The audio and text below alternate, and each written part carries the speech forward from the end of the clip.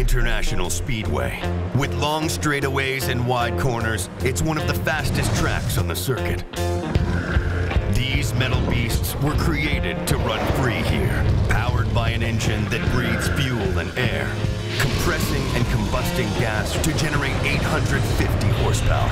Gentlemen, are the masters of the wheel who are here to tame it, driven by the heart of a machine that pumps competitive fire through their veins, pushing them fearlessly beyond 200 miles an hour, side by side with danger for one goal, that when the day is over, they can say, I am the fastest. Welcome to Michigan.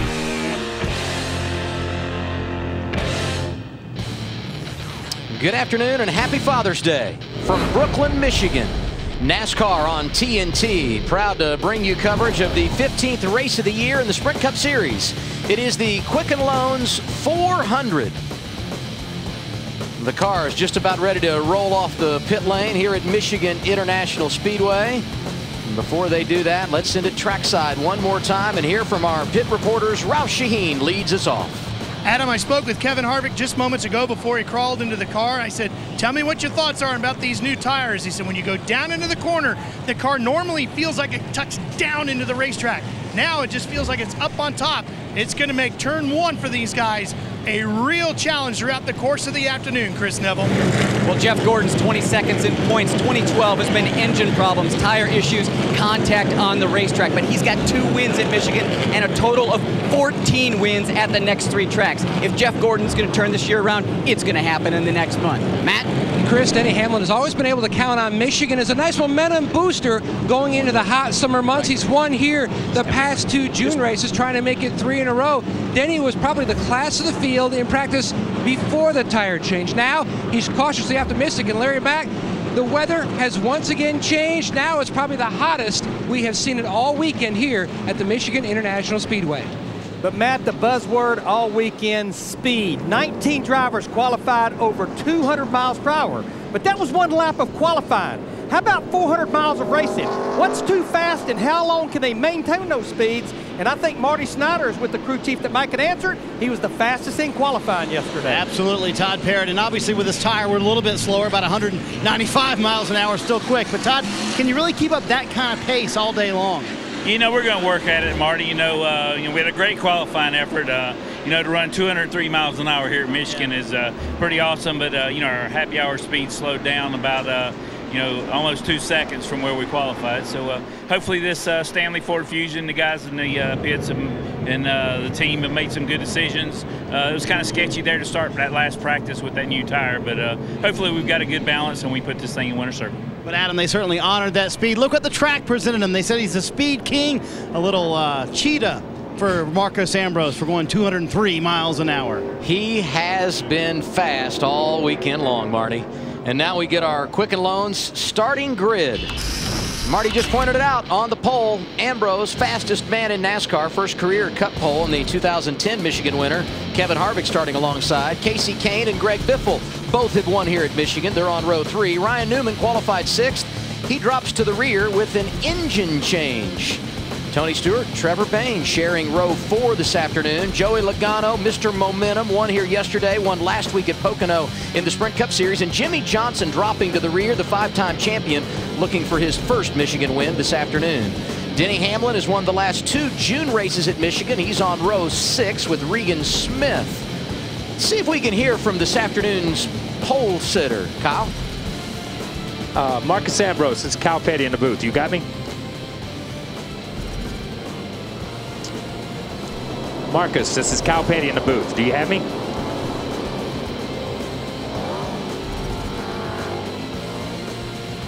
So we'll check back with Marcos in a minute, maybe talking to the team. You saw Juan Pablo Montoya there in row 11. Row 12, Casey Mears and Scott Riggs.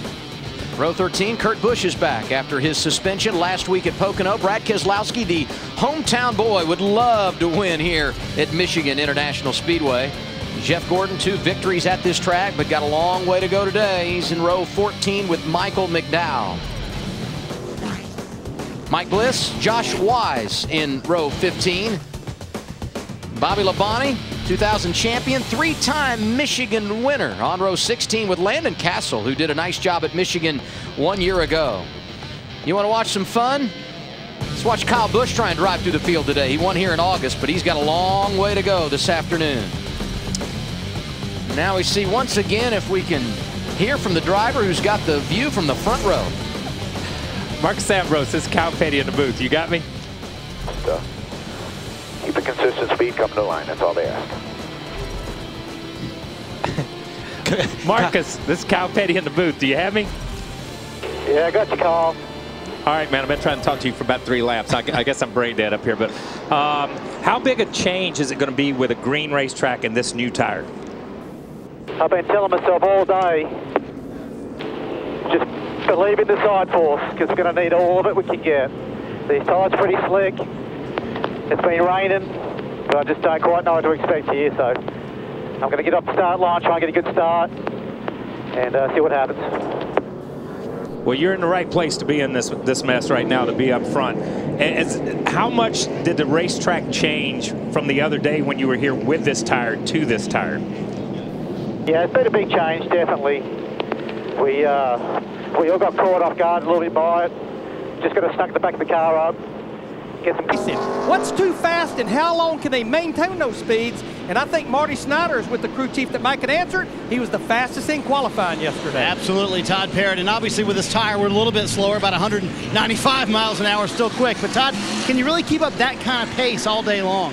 You know, we're going to work at it, Marty. You know, uh, you know, we had a great qualifying effort. Uh, you know, to run 203 miles an hour here in Michigan is uh, pretty awesome. But uh, you know, our happy hour speed slowed down about uh, you know almost two seconds from where we qualified. So uh, hopefully, this uh, Stanley Ford Fusion, the guys in the uh, pits and, and the team have made some good decisions. It was kind of sketchy there to start for that last practice with that new tire, but hopefully, we've got a good balance and we put this thing in winter circle. But Adam, they certainly honored that speed. Look what the track presented him. They said he's a speed king, a little cheetah for Marcos Ambrose for going 203 miles an hour. He has been fast all weekend long, Marty.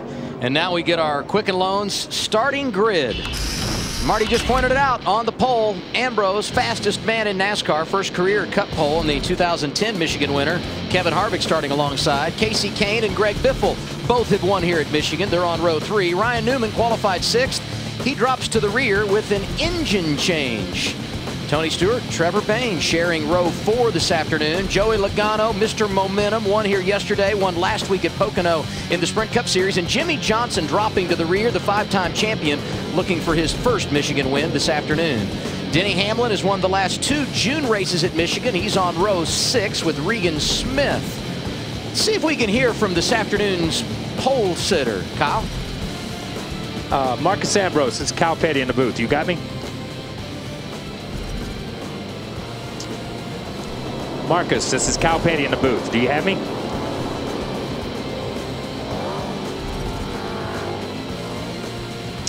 So we'll check back with Marcos in a minute, maybe talking to the team. You saw Juan Pablo Montoya there in row 11. Row 12, Casey Mears and Scott Riggs. Row 13, Kurt Busch is back after his suspension last week at Pocono. Brad Keselowski, the hometown boy, would love to win here at Michigan International Speedway. Jeff Gordon, two victories at this track, but got a long way to go today. He's in row 14 with Michael McDowell.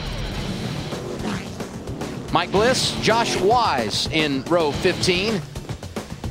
Bobby Labonte, 2000 champion, three-time Michigan winner on row 16 with Landon Cassill, who did a nice job at Michigan one year ago. You want to watch some fun? Let's watch Kyle Busch try and drive through the field today. He won here in August, but he's got a long way to go this afternoon. Now we see once again if we can hear from the driver who's got the view from the front row. Marcos Ambrose, this is Kyle Petty in the booth. You got me? Uh, keep a consistent speed coming to the line. That's all they ask. Marcos, this is Kyle Petty in the booth. Do you have me? Yeah, I got your call. All right, man. I've been trying to talk to you for about three laps. I, I guess I'm brain dead up here. But um, how big a change is it going to be with a green racetrack and this new tire? I've been telling myself all day, just believe in the side force, because we're going to need all of it we can get. Tyres are pretty slick. It's been raining, but I just don't quite know what to expect here, so I'm going to get up the start line, try and get a good start, and uh, see what happens. Well, you're in the right place to be in this this mess right now, to be up front. As, how much did the racetrack change from the other day when you were here with this tire to this tire? Yeah, it's been a big change, definitely.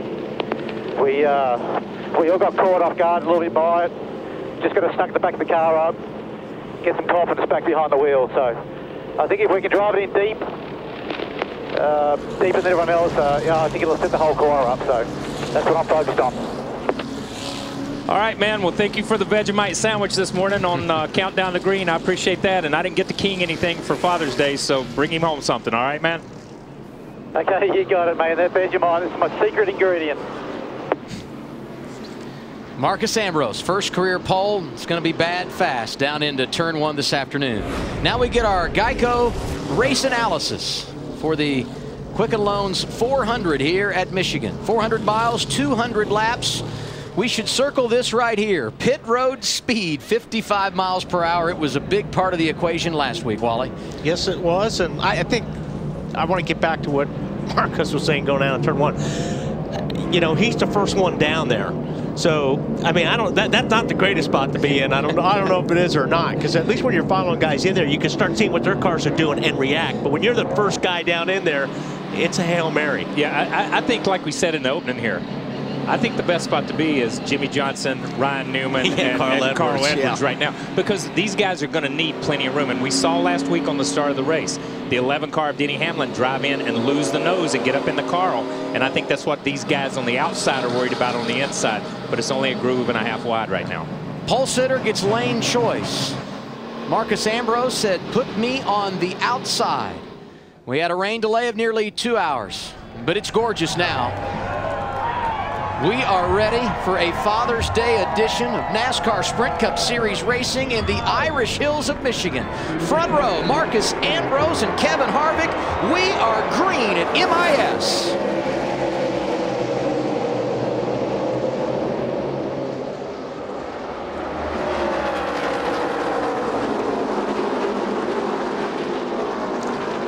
Boy, Kevin Harvick got a rotten start. Side by side through turn two. A couple of guys trying to make it three wide. Marcos Ambrose, great start at the front. That's Casey Kahne right behind him. Then Matt Kenseth.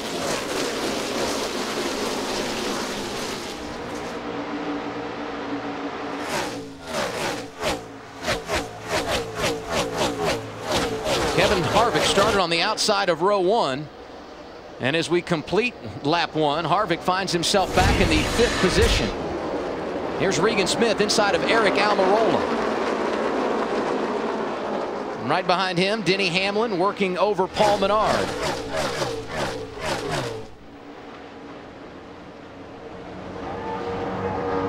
Trouble behind him. That's Kurt Busch spinning down the back straightaway. First caution of the Down, there day. you go.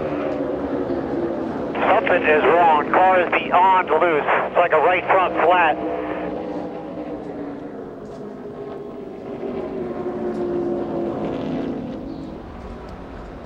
Had a caution lap one last week at Pocono, lap two this afternoon at Michigan for the man who won the championship in 2004. And, and Kurt had his issues up here in practice. I, I think he spun two or three times in, uh, in And between this and the nationwide cars. So, so he's had some issues. But you know, when when Kurt talks about the right front being flat, that it's so loose. That's what everybody has said. How slick this racetrack. You could see the smoke develop right there. He was already into a spin, but you see the marks. So this thing got away from him. He was pretty good ways from the wall. Whether he was outside the groove or not, you couldn't tell from that. Yeah, he's way up Where did he right get the damage in the front? Must have He- got into somebody there. Right, right there, I think. Yep. Yeah, he had to have. But you see how high he was. He was he was pretty high right there uh, compared to where these other guys that had started the race. Kurt Busch third yesterday here in nationwide competition, and there's a good look, Wally. Trying to see who he gets into right there. I can't make Little it out. Little bit of a brush. It's like the David Gilliland machine that got him in the right side. He one's up there hitting the wall. He's wrecking right front of you, right in front of you. Just slow it down, slow it down, slow it down. Keep it straight. There you go. Yellow is up. That's so nice having that pavement down there. Do I? It's so nice to have that pavement Yes. down there. That used to be grass. Remember when that was grass? Oh my gosh. He'd still be going. Yeah, when a car would get down there, it just picked up speed. See, they've done some damage repair to the 51 car of Kurt Busch. And you could see from almost every one of those angles, the rest of the cars were down. He was up a good car length and a half, or car a lane and a half. Uh, and there's just there hadn't been anybody running up there. There was no grip up there.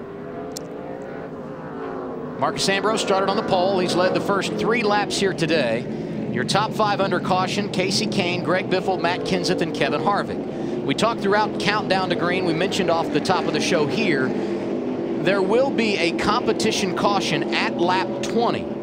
Drivers certainly could pit here under caution, but they cannot fuel the race car. And, and we heard Kyle Busch talk about it on Countdown to Green and on pre-race that the co competition caution was good because these guys had built in some adjustments to these cars because of the tires and because of the rain. So NASCAR, that is a good call to let these guys, so people don't go, start getting lapped 15, 20, 30 laps into the race. It gives everybody a, an equal step up. Log on to NASCAR.com to experience TNT Race Buddy, presented by Frost Brewed Coors Light, the official beer of NASCAR. Race Buddy has 10 camera views, special reports from Miss Coors Light, and more. Lap two crash for Kurt Busch. He has come down pit road, made repairs, returned to the racetrack. David Gilliland also received some damage. He has made a pit stop. You look at the cautions through 14 races in 2012, 80 of them. That's the fewest since back in 1999. Had a couple of early ones last week at Pocono. We've got an early one here, but the lights are out atop the Ford F-150 Pace vehicle, and we are set to put them back under green. Once again, on the restart, Marcos Ambrose, who was the race leader, has chosen the outside lane. To his left will be Casey Kahne, row two. Teammates Kenseth and Biffle, Logano and Harvick on row three. Bayne, Stewart, Almirola, and Clint Bowyer complete the top five, top 10. And they are, they've only run a couple laps, but they got a lot more confidence right now on this restart than they did the start because they do have kind of have an idea what these cars feel like going down one and two. And, and I'm going to tell you something. Greg Biffle, power move here to the outside of Marcos Ambrose. But we saw on that restart Yes, a little a bit. little bit loose oh my there. gosh. You see Marcos get back down in the groove where the rubber is and just kind of power up off that corner. Interesting that we have seen guys on the outside this early in the race. It, it, but it, but it's interesting that Biffle got a little higher than where he wanted to be. He was just a little bit, so he had to had to give up that position. But if we saw that restart, you almost saw the nine car spin the tires and wiggle a little bit. I think that's why that inside lane is not as good right now, and it's not because as you anticipate when that guy goes and you go the gas, you're spinning worse than he And, is. and I think that's what happened to Harvick, on the start. Exactly. Yeah. Casey Kahne lost some ground on that restart. You got, I mean, just looking Oh, right now, Kyle, Ambrose sideways off the corner. I was just going to say, there's a lot of loose race A cars lot right of this loose race minute. cars. And everybody thought they would be. You know, eh, I don't think there was anybody that we spoke to uh, in the countdown to green or the pre-race that didn't think this thing was going to be loose as we see Biffle just power to, to the inside of Ambrose because he loses that momentum getting up off turn two. Biffle, the new race leader, and the man that went to victory lane a week ago, Joey Logano, right in the hip pocket of Marcos Ambrose. Right behind him, Casey Kahne. Working lap seven of 200 here at Michigan. And off the pace, Trevor Bayne. Team that's had so much success here at Michigan. The Wood Brothers, 11 victories and top rank for the Ford. All the gauges reading good. Fine. It's dead. Plug wire, something's off. I think it was Adam that was bringing up that could be some engine problems today, Kyle. Yeah, I think these guys had a lot of laps on their engines. I don't, I don't know. Come on now. I, we don't know how many laps the 21 had on Oh, engine. yeah. We are joking about that. But he says that, you know, plug wire, something like that. If you remember when the 99 car went out to qualify of Carl Edwards, the reason he started in the back, the secondaries didn't open up. Um, and, and- or basically, if you had a carburetor, that's the way it would be. But his, his throttle linkage was messed up a little bit. That's why he only run 170, 80 miles an hour, Wow. and they cut it off. Who's that? Look, I don't know if that was Truex or somebody jumped way up the racetrack there. Trevor Bayne was running seventh when he had the engine problems. He's on pit road now. What do you see with Ryan Newman, Larry? Well, what I'm seeing is a man that's on a mission going to the front. Remember, had to go to the rear of the field because of an engine change. We're only on lap seven with three caution laps. He's already cracked the top 20 up to 19th. So Ryan Newman making up some ground on track. Here's what teammate and owner Tony Stewart was saying prior to today's race on the radio.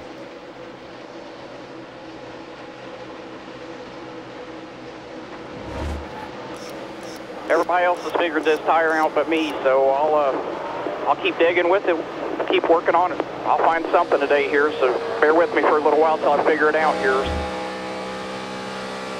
That's confidence, isn't it? Saw the big movers in this race. Ryan Newman, Kyle Busch among those that are moving forward quickly in the early portion of this afternoon's event. What's the latest on the 14, Marty? Well, as you heard Tony say, they were not very happy with this tire change. They felt like they had a winning race car with the old tire, Adam, but with this new tire, it really threw them for a loop. Tony told me I never got comfortable with the tire. And what happened just a moment ago, he came on the radio and said, hey guys, this car's actually pretty good right now. Josh Wise going to bring out our second caution of the day. Much like Trevor Bayne, he's up in smoke in the 26 car here.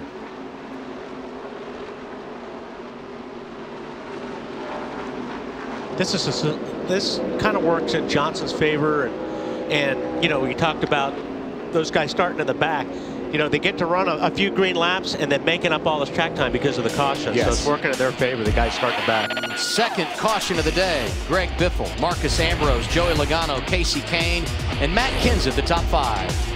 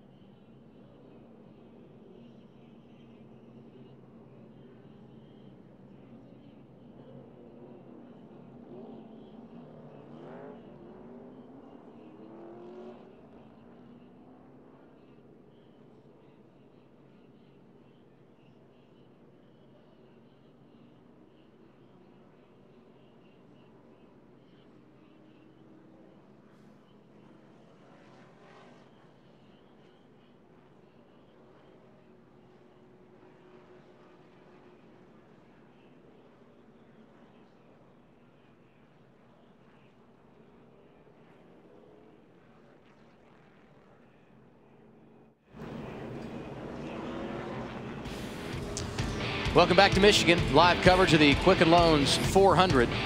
The American Ethanol Sweepstakes is happening now. Log on to NASCAR.com slash AE Sweeps for your chance to win one of three Chevrolet Silverados. American Ethanol, American grown, American made, powering NASCAR. Under caution for the second time today, Josh Wise lost an engine.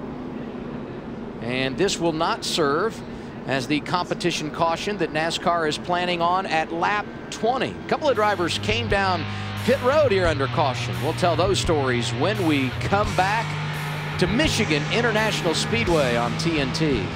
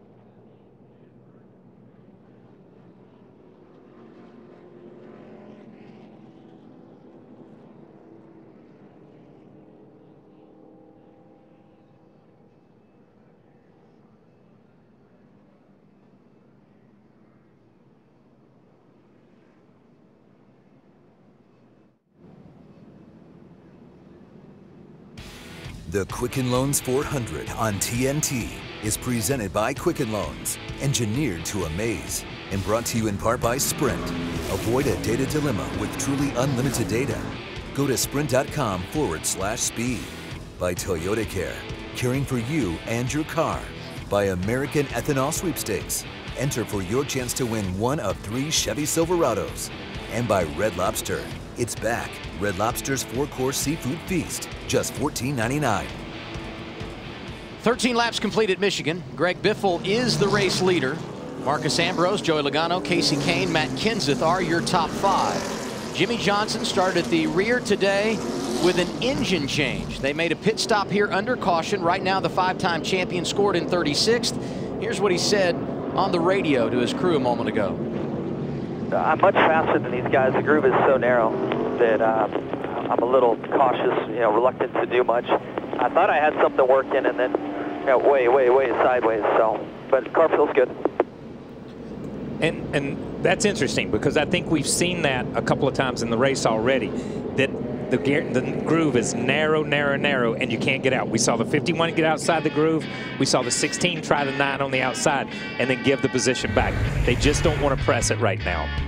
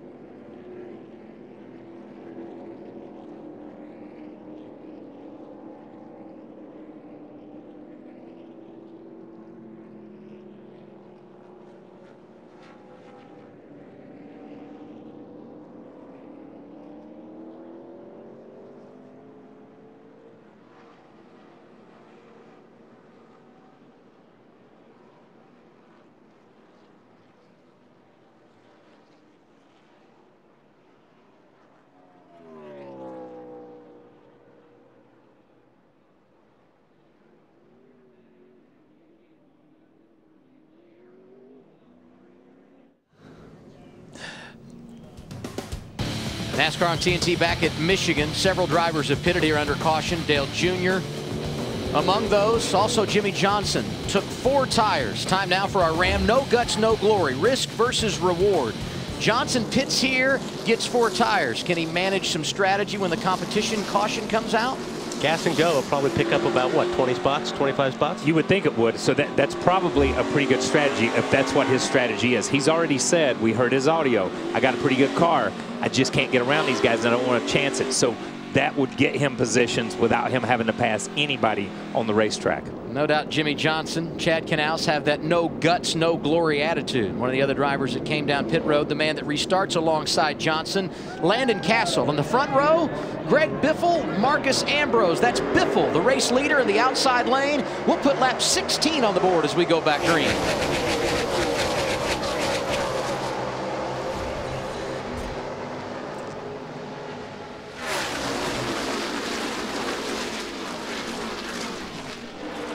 Biffle got it done that time.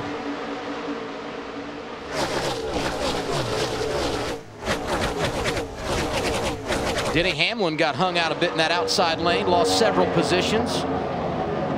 See him there on the outside of Jeff Burton making it three wide. Bobby Labonte on the inside. Man, Hamlin falling back a bit early in the run and on board with Ryan Newman who continues to drive forward. You see, Burton got up there way high in that gray, and boy, he lost a lot of ground, and he continues to lose a lot of ground. Like Kyle said a little bit earlier, you know, the groove is down low, and you can see a lot of these guys running down at the bottom of the Yes. racetrack right now. They're- They're not as confident as running that high line yet. It'll, I think it'll come, but right now they're all fighting for that lane and a half on the bottom. Yes. I think I asked you in Countdown to Green, Wally, are we going to see the old Michigan where they fan out three and four wide? I think we've answered it. They're getting pretty aggressive. Well, the thing is, a lot of these guys are winding up there anyway because they're sliding up there. They're going down in the corners, and like you saw Burton, every time you get a car to run that high groove up, it makes it a little bit better and better. So yeah, I still think we're going to see it. And, and they're aggressive down the straightaways when you're watching it because what they're doing is they're getting to the corners and they're all slipping and sliding and somebody gets a good run and pulls out on everybody.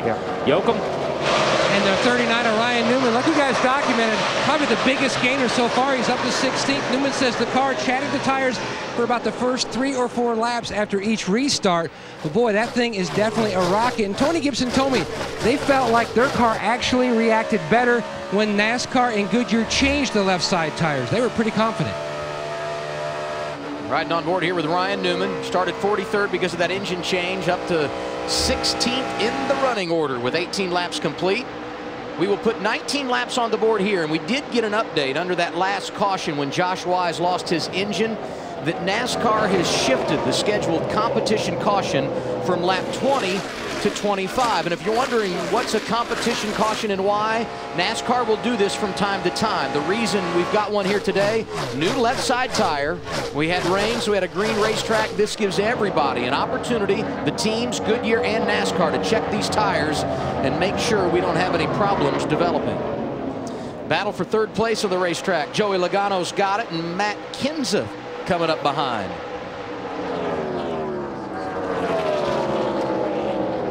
Tell you what, Aric Almirola running inside the top 10. Marcos Ambrose started on the pole. In fact, both the RPM cars inside the top five right now. And, and I'm, that's the way they've been since Charlotte. If we go back to Charlotte, qualified on the front row, running the top 10 at Dover, they've just been incredibly competitive and incredibly consistent for the last three or four weeks. A lot of their success started happening when Mike Ford moved over there to crew chief that 43. I saw him in the garage area the other day.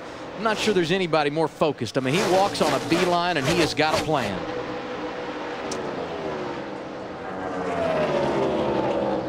This is a Matt Kenseth kind of track. Long green flag runs. Patience is what you have to have to be successful. And Kenseth right where he needs to be. Fourth in the running order.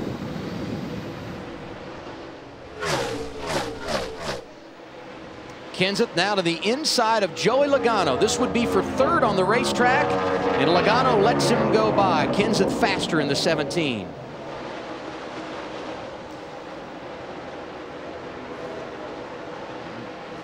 Ryan Newman, we've documented, on the move today, running right behind Bobby Labonte. Let's ride on board and see what driver 39 is looking like, Wally. Well, you can always kind of tell how the car's handling by watching the driver's hands on the steering wheel. And I've been kind of watching, keeping an eye on, on Ryan. And looks like his car's handling pretty well. I mean, you see him go down in here in turn one.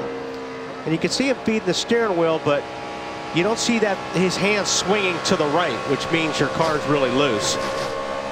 So it looks like, like you know, I, I believe it was Matt and some of those guys talking earlier that he's making his way through the field. Looks like he's got a pretty good handling car by that driver shot. See Brad Keselowski sneaking into the picture. He is scored right now in the 17th position. That's Bobby Labonte in front of Newman in that bright green and blue car. And there goes Keselowski to the inside of Newman. Newman made the early charge and now drifting just a bit as Keselowski makes the move to the inside. And Keselowski, one of those drivers, he told this on Countdown to Green. He said, our car wasn't where we wanted it to be on the original tire. They gave us those new left sides and our car reacted.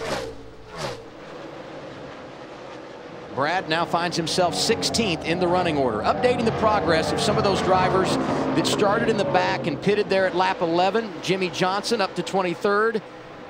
As Tony Stewart looks to make a move on Aric Almirola for position. Dale Jr.'s 27th, Jeff Gordon 26th, and Carl Edwards, who Had issues in qualifying yesterday, now finds himself closing on the top 20. He is 25th.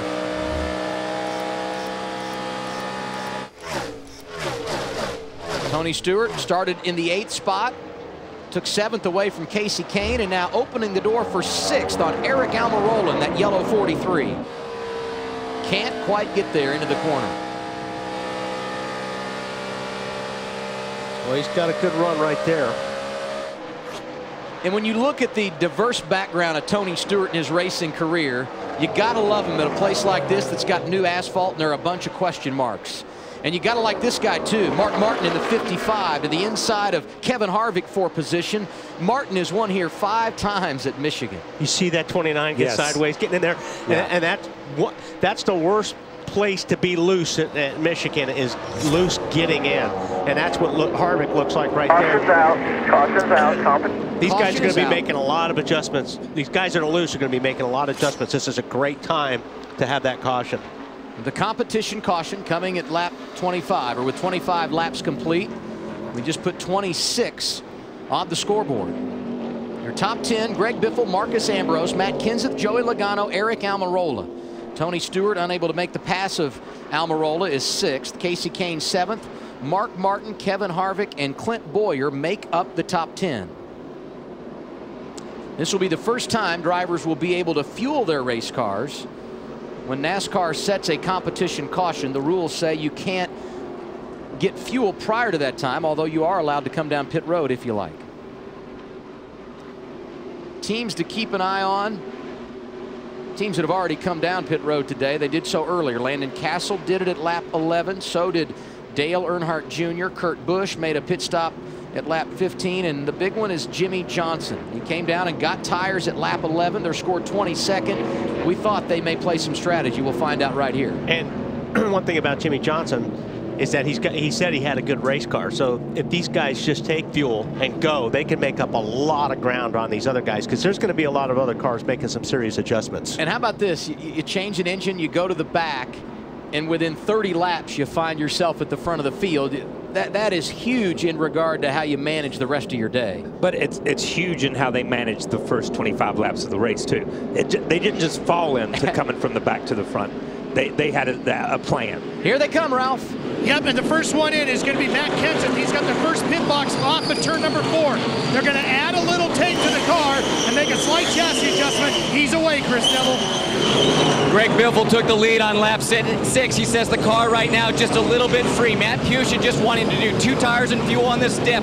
He's not going to make any adjustments. Matt. Marcos Ambrose, middle of your screen. Chris, it's going to be fuel only. Todd Parrott told me this morning this was the plan the entire time. He just said absolutely no grip. Kenseth will almost beat Marcos Ambrose off pit road, but I think that first pit stall will pay off for Ambrose, and he wins off pit road, Adam. Yes, he did. Kenseth up to second. Logano gains a spot. Big mover Mark Martin and Kyle Busch will reset the field after a break.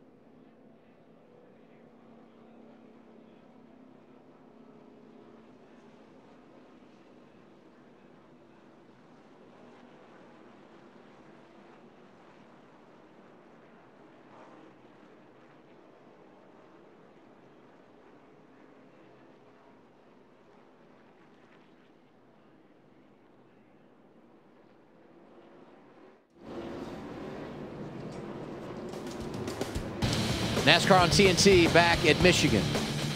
Won't be long before we go back under the green flag. Driver to keep your eye on, Kyle Busch. He's one of the eight drivers that pitted here under caution that took no tires. Good move for him. After starting 34th, he has jumped to sixth in the running order.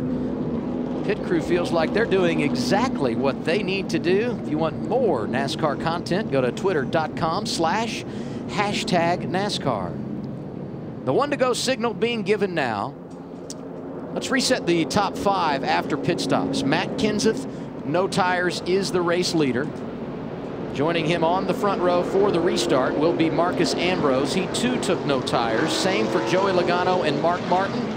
Then you got Kyle Busch and Greg Biffle. The first of the drivers inside the top 10 that took tires here, Tony Stewart. He's going to restart seventh. And the other driver that took tires under caution will be Greg Biffle, who when we go green will be in the sixth position. And Kevin Harvick's made a couple of pit stops here. Tough break for this race team who started second today. Yeah, that's his third time down pit road um, under this caution. So obviously, whatever adjustments they were having to make, Wally pointed it out earlier. That thing rolled in the corner sideways, wiggled, and he lost a ton of ground. We saw the 15 of Clint Bowyer come up on him, but uh, whatever adjustments they had to make obviously were time-consuming adjustments. They're big adjustments. Yeah, big Yeah. adjustments. That's big adjustments uh, because he came in on all three laps of this of this caution. Eight of the top 10, no tires. You guys surprised? I, it surprised me. I guess it surprised me. It's 29 laps, and they really haven't run that many green. But I did think that more of the guys were going to take some tires Yeah. on that pit stop. I, I really did too, just to get a good read on where the tires were. Because we've heard these guys say, you know, scuffs or putting a cycle on them was not bad. Well, 15, 20 laps on a cycle, and that's basically all they had over those first 25 laps because they had cautions. Remember, it was not a bad cycle on a set this of was all about taking the tires off and making sure they didn't. They didn't yeah, have and a nobody took, problem. them Nobody off. took 'em off. So I guess NASCAR can't look at that. And they are going to have another competition caution at lap 50. You cannot fuel your car until then. We're going to go back green as we complete lap 30 here at Michigan. Matt Kenseth, Marcos Ambrose out front here.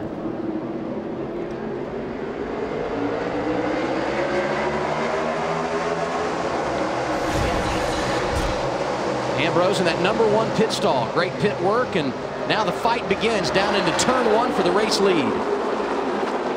And you can see they're fighting a lot more than they did at the beginning of the race. So, the, you know, the track is coming in. Yeah, and you see that time the inside lane got a really good start. Matt Kenseth almost pulled him down into turn one, but Matt's car jumped up a little bit. He had to check up out of it. You see uh, Ambrose go to the front. Jimmie Johnson getting out of line. He restarted back in the 20th spot, so he slowly but surely is coming to the front today. Again, Jimmie talked about how good his car was. He didn't want to chance it, but I think he meant he didn't want to chance it on the outside. Uh, but he's he was all the way on that white line going in turn three, so he feels a lot more comfortable about where he's at. Keep an eye on Greg Biffle and Tony Stewart. They're the drivers that did take tires at lap 27 when they pitted of the drivers that restarted inside the top 10. And here comes Matt Kenseth knocking on the door for the race lead. Inside of Marcos Ambrose, Kenseth goes to the point at Michigan.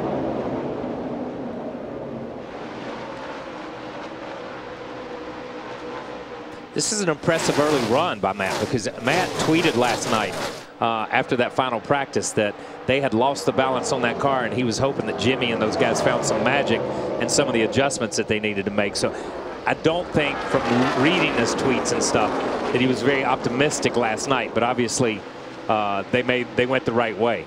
Tony Stewart just ran around Kyle Busch. He's now sixth, Marty. Adam, as you mentioned, two tires on that stop for Tony Stewart, who was surprisingly fast earlier with that race car. And here's what he had to say on the radio after a little focus in that first run.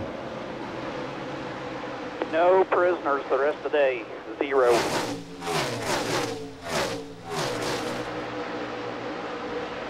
And guys, Tony clearly moving forward. Those two tires not hurting at all, and happy with that race car. Happy smoke means uh, happy 14 bunch, Adam. Another driver that's got to be happy in the early part of this race is Mark Martin. He just went around Joey Logano. He's up to third in the running order. And while Marcos Ambrose lost the lead to Matt Kenseth, he's not letting Matt get away.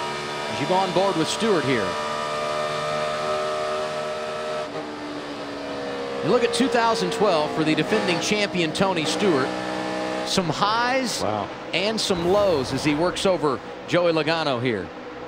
And as loose as these cars are, Yeah. when you drive on somebody like that, especially getting into the corner, it makes the car you're pulling up on even more loose. Even more loose. We saw it yesterday in the nationwide race uh, with Dillon and, and when Danica spun around. But Tony really is rolling into the corner and through the center free. You saw how much he gained on Joey Logano getting into turn three the lap before. He just closed up into the center, picked up the throttle, not full, just a little bit, and really closed up on Joy and got that run on him down the front stretch. And I made the point earlier, these are the kinds of days that favor a guy like Smoke, who's been everywhere and driven everything on every kind of racetrack. It's got to help, doesn't it, Kyle? Yeah, no, I, I think it helps. I, I think the more experience you have on different facilities or different types of surfaces and stuff, it's good. But at the same time, let's be honest, we've seen Tony go to some of these places this year and it looked like he had gone there for the first time. That's how bad they ran. And I think he and Steve have worked really hard to get back to where they were when the season started, when he won two out of the first four or five races. Uh, I think they lost their way a little, a little bit there. Denny Hamlin to the inside of Jimmie Johnson. That's for the 17th position. And back behind them in 28th is Kevin Harvick, who made multiple pit stops under caution a few moments ago. Ralph, what's the story there? Adam, it was three stops. He came in for the first one, just a routine stop. Then this fell off. This is a dust cap that goes in the center of the tire like this. Very rare that one of these would fall off. You can see how they're fastened on to the car right here. When that fell off, they had to come back in, put the new one back on, and then they came down a third time just to complete tightening up the car. Pretty rare, Kyle and Wally, to see one of these come off the race car. Yeah, that I don't is. think I ever have. Yeah, I, have seen them come off the rear when the axles will beat them out. Right. You know what I mean? We'll beat, we'll just constantly beat on them and beat them loose. But uh, one on the front, and that's where they appeared to be working. One on the front like that. Obviously, it, it didn't- doesn't appear to be that it was tight when the, when the race started and worked its way loose.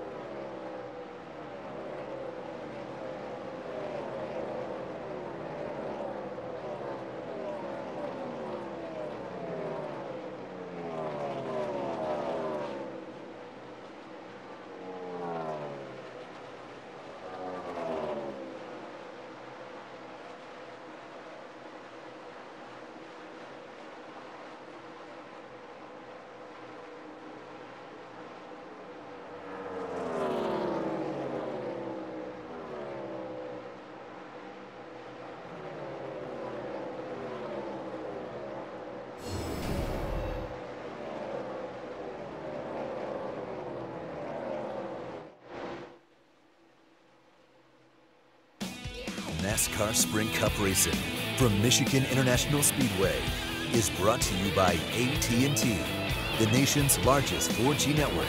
AT&T, rethink possible. And by McDonald's, I'm loving it. Happy Father's Day, everybody, from all of us here at NASCAR on TNT. If you're just joining us and saying, what, only 43 laps have gone by? Well, the reason we had some rain move through the Irish Hills of Michigan early afternoon. We dried things out. It's gorgeous now. The race leader, Matt Kenseth. Marcos Ambrose, Mark Martin, Greg Biffle, and Tony Stewart are the top five. Saw a spirited battle there between Brad Keselowski and Aric Almirola for the final spot inside the top 10. So as we work on lap 43, Larry, what do you notice? Well, one thing I do notice when I look at our top 10 drivers right now, Adam, four of them did change tires. I just think the reason the other drivers did not worry about changing tires, they only had 15 laps on their tires, and they know they've got that cost at lap 50. And remember what Greg Biffle told us in the countdown to green? These things are treacherous when you first put them on with lower air pressure. You know, something we have not talked about a lot today, but appears in some different situations to be playing a role is the draft here at Michigan. A lot of suck up on the bumper of the guy in front of you. Yeah, well, you're running the speeds these guys are. Uh, you're definitely going to see, and, and, you always have, have seen it at, at, Michigan. Another thing is, this place, with, when it gets cloudy, it changes the racetrack. We saw it sunny earlier. Now all of a sudden we got half the track is is is you know dark in the shade it changes the racetrack. So, I mean, these guys are going to be earning their paycheck today trying to get these cars to handle. Hey, Chris, six laps away from that competition caution at lap 50. What do you make of the tires? Well, under that last caution, the 16 was one of those cars that took right side rubber. And Greg Biffle was saying, hey, let's not take rubber on this stop right before he came to pit lane. But Matt Puccia told him on the radio, I want to put tires on the car. I want to see what the right side tires look like. So I feel more confident later in this race, maybe not taking tires. Matt Puccia right now telling Greg, hey, only a couple more laps. We're probably just going to do fuel on this stop, so we'll pass these guys. Biffle's got a Biffle's got a pretty strong car right there. Well, he and Tony Stewart right now fourth and fifth. And following the caution a while ago on the restart, they were the two drivers in the top 10 that had taken tires. There are some others now that have jumped inside the top 10 since the restart that also took tires back at lap 27. And two names that jump out to me in the top 10 Brad Keselowski and A.J. Allmendinger, the teammates at Team Penske, as Dale Jr. goes to the inside of Ryan Newman for 12th, Matt. And the team that probably was most affected by the tire change, Adam, was the 88 of Dale Earnhardt Jr. It's been a struggle ever since the swap over. It was real edgy at the beginning of the race. They pitted back on lap 11. They took the left rear off, pushed the spring rubber in, and made a track bar adjustment, trying to get better balance. The car was still tight. Back on lap 27, they made two more changes. Steve Letarte asked him back on lap 41, have we made inroads? And Larry Mack, Dale Jr. said, yep, the balance is really good. Yeah, Matt, I don't know if he's feeling like he made gains, but when I go back, remember, he started in the 15th position. He had fell out of the top 25, and I think with that change they made there on lap 11 and then two tires on lap 27, he's actually fighting his way to the top 10. What a turnaround for Dale Earnhardt Jr. And you know what's amazing, Larry? He restarted 23rd at lap 31. So after that cycle of pit stops at lap 27, Dale Earnhardt Jr. has put the whip on the rear of his race car, and he is driving it to the front.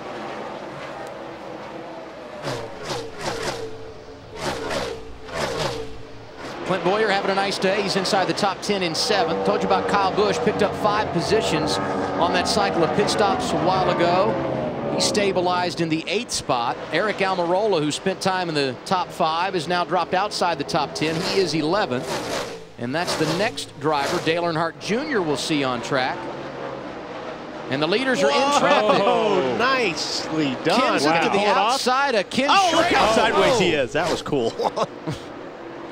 Man, that was good. Kenseth unhappy there? Is that what you read into that? Hey, that was a good move on Yeah. Ambrose's part.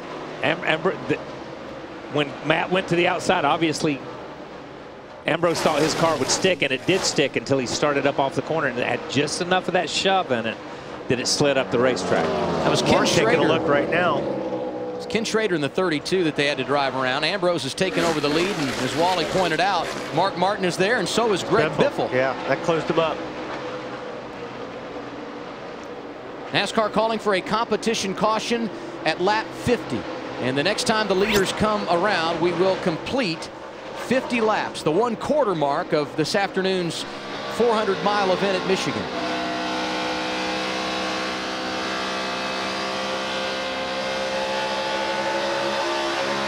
Almost sounds like the old days where it's uh, like Yeah, you're, you're kind of playing with yeah, the you're throttle. playing with Yeah. it. You're not just flat into it, getting up like we saw in practice all week long, and like we saw in qualifying.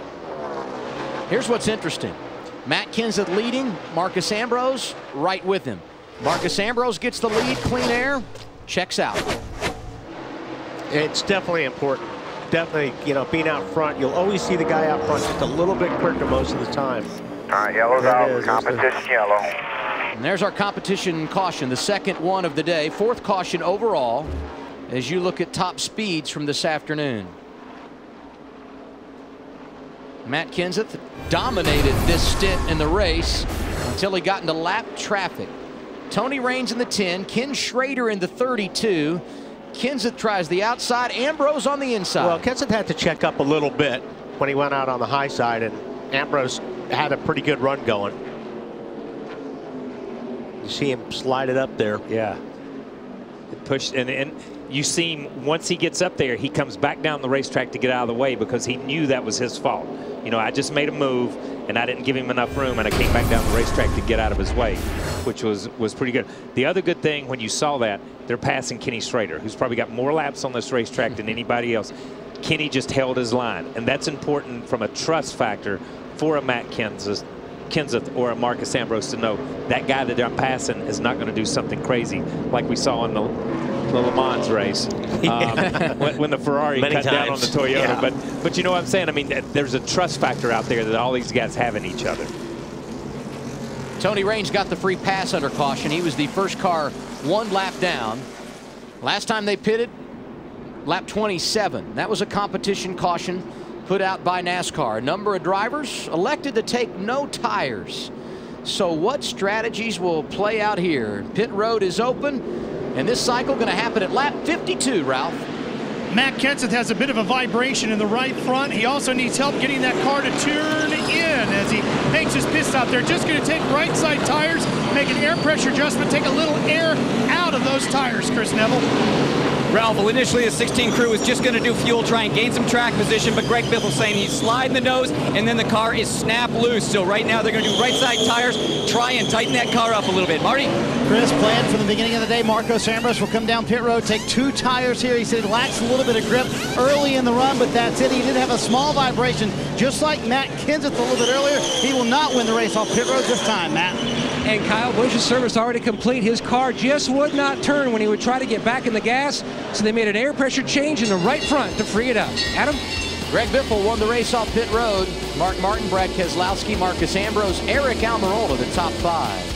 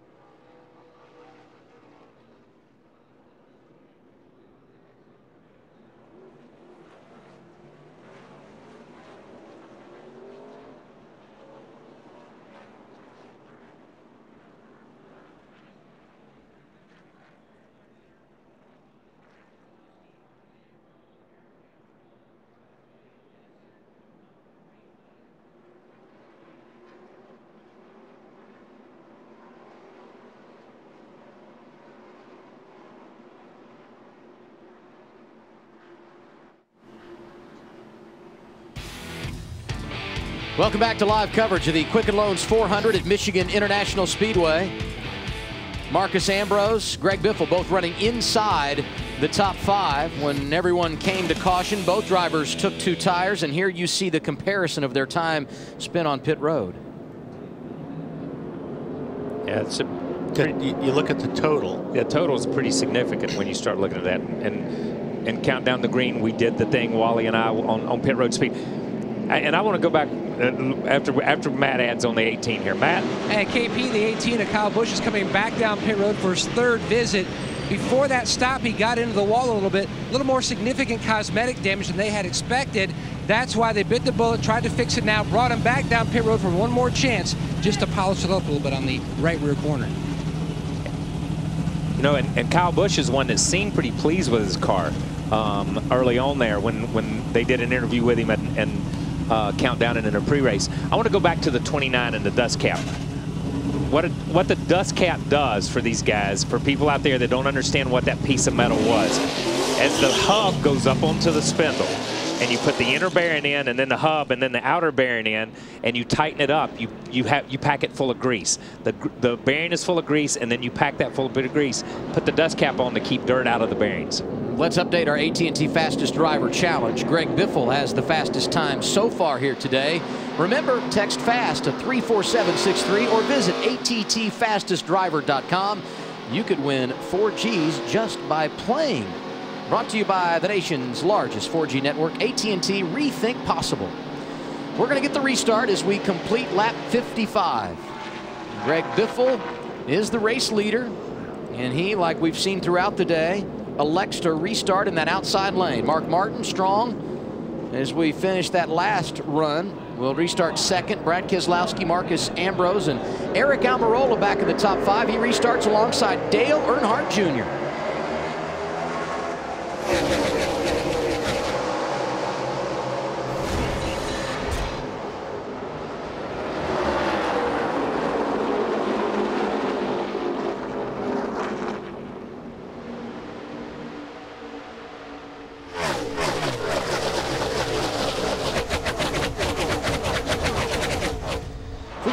caution, you know why it's going to be big to win the race off pit road? Lane selection. That outside lane, huge today on restarts, Wally. Yeah, Biffle got a, a, good one there. It's going to be interesting to see if he just checks out. I mean, he's been watching his times. he has been laying down some really good laps. Now he's out front. See if any anybody's got anything for him. J Jimmie Johnson also has been running some very fast lap times, and that's been in traffic. Johnson's 18th after starting at the back today. Saw Martin Truex Jr. starting to come through the field. He is 12. Maybe some drivers to keep an eye on on this run. The ones that took four tires in that last pit stop. Tony Stewart did, Joey Logano, Casey Kahne, Kyle Busch. Matt Kenseth strong on that last run, but lost some ground on pit road. He's seventh right now. What's he saying on the radio? Yeah, we got to figure this out, Jimmy. Here, that was uh, man, that was bad.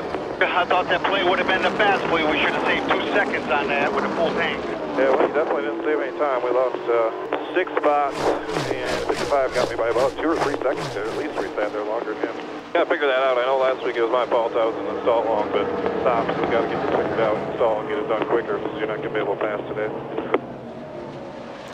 And that key. I mean, as hard as it, everybody's running so good right now, it is difficult to pass when you give up that kind of time in pit lane. To, there's nothing more frustrating to a driver than that. Nothing.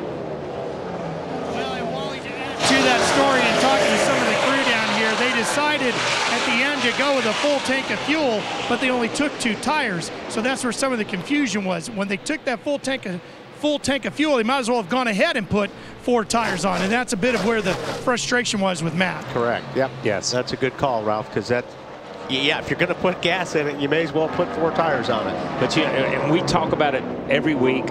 All the other broadcasters talk about it.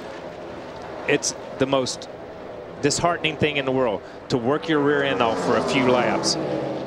Work your rear end off for a few laps, make that pass, and then give it up on pit road. You said, Wally, on the restart, it'll be interesting to see if once Biffle gets the lead, he pulls away. The answer, no. Marcos Ambrose going nowhere. And as he got up alongside Biffle for the top spot, it allowed Mark Martin to close a bit. And Dale Earnhardt Jr., who restarted sixth a moment ago, is fourth, and he's right in the middle of this mix. They're not out of the gas long. Not long at all. Not long at all. I mean, they let it roll down, and just when it settles in, they pick back up the gas and drive it through the center. Jimmie Johnson, 15th right now, Chris, but maybe some, some concerns in the 48 camp? Yeah, right before he came into pit lane, he told the team that the car is awesome, but it's a little bit loose in traffic. However, they took the right side tires off that car, and the right rear had blisters all the way around the center of the tire. Now, this team was having to deal with a lot of blisters on the left side of the car in practice all day Friday. Now that they've got harder left side tires, that issue that they're dealing with uh, with the handling of that car, it looks like it might be migrating to the right side. Chris, can I, when, when he pitted early in the race and changed tires, did they put stickers on during that time or did they put scuffs on? Do you know? Kyle, I don't know. I, I know they just did two tires on that stop. I don't know if it was stickers or scuffs. Yes. All right, thank you, Matt. A, a lot of times, and Larry can speak to this, uh, you know, as we come back from break, Larry can probably speak to this. A lot of times, that one heat cycle will keep a tire from blistering because that hardens it up and it changes the compound just enough. The cat in the hat, no string.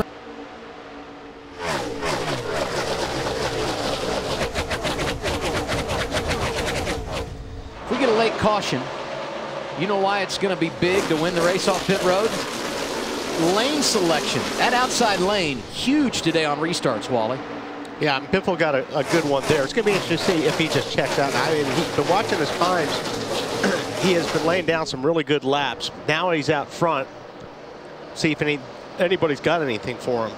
J Jimmie Johnson also has been running some very fast lap times, and that's in traffic. Johnson's 18th after starting at the back today. Saw Martin Truex Jr. starting to come through the field. He is 12. Maybe some drivers to keep an eye on on this run. The ones that took four tires in that last pit stop. Tony Stewart did, Joey Logano, Casey Kahne, Kyle Busch. Matt Kenseth strong on that last run, but lost some ground on pit road. He's seventh right now. What's he saying on the radio? Yeah, we got to figure this out, Jimmy. Here, that was uh, man, that was bad. I thought that play would have been the fast play. We should have saved two seconds on that with a full tank. Yeah, we definitely didn't save any time. We lost uh, six spots, and 55 got me by about two or three seconds. There, at least we sat there longer than him. Got to figure that out. I know last week it was my fault. I was in the stall long, but stops. We got to get this figured out, install, and get it done quicker, because you're not going to be able to pass today. And that key. I mean, as hard as it, everybody's running so good right now, it is difficult to pass when you give up that kind of time in pit lane. To, there's nothing more frustrating to a driver than that. Nothing. To that story and talking to some of the crew down here, they decided at the end to go with a full tank of fuel, but they only took two tires. So that's where some of the confusion was. When they took that full tank of full tank of fuel, he might as well have gone ahead and put four tires on. And that's a bit of where the frustration was with Matt. Correct. Yep. Yes. That's a good call, Ralph, because that yeah, if you're going to put gas in it, you may as well put four tires on it. But you, and we talk about it every week. All the other broadcasters talk about it. It's the most disheartening thing in the world to work your rear end off for a few laps. Work your rear end off for a few laps, make that pass, and then give it up on pit road. You said, Wally, on the restart, it'll be interesting to see if once Biffle gets the lead, he pulls away. The answer, no. Marcos Ambrose going nowhere. And as he got up alongside Biffle for the top spot, it allowed Mark Martin to close a bit. And Dale Earnhardt Jr., who restarted sixth a moment ago, is fourth, and he's right in the middle of this mix. They're not out of the gas long. Not long at all. Not long at all. I mean, they let it roll down, and just when it settles in, they pick back up the gas and drive it through the center. Jimmie Johnson, 15th right now, Chris, but maybe some, some concerns in the 48 camp? Yeah, right before he came into pit lane, he told the team that the car is awesome, but it's a little bit loose in traffic. However, they took the right side tires off that car, and the right rear had blisters all the way around the center of the tire. Now, this team was having to deal with a lot of blisters on the left side of the car in practice all day Friday. Now that they've got harder left side tires, that issue that they're dealing with uh, with the handling of that car, it looks like it might be migrating to the right side. Chris, can I, when, when he pitted early in the race and changed tires, did they put stickers on during that time or did they put scuffs on? Do you know?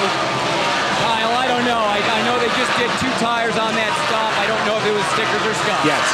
All right, thank you, Matt. A, a lot of times, and Larry can speak to this, uh, you know, as we come back from break, Larry can probably speak to this. A lot of times, that one heat cycle will keep a tire from blistering because that hardens it up and it changes the compound just enough. The cat in the hat, no stranger to success at Michigan. Jack Roush has won here 11 times, and his man Greg Biffle out front this afternoon in the Quicken Loans 400.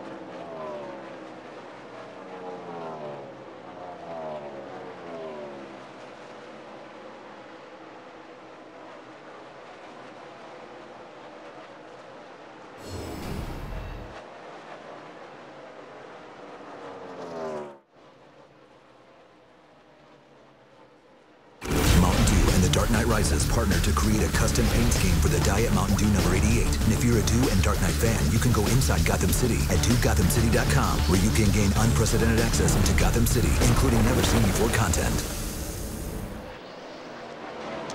The Dark Knight not only rising, it's moving to the front. Dale Earnhardt Jr. closing on second place.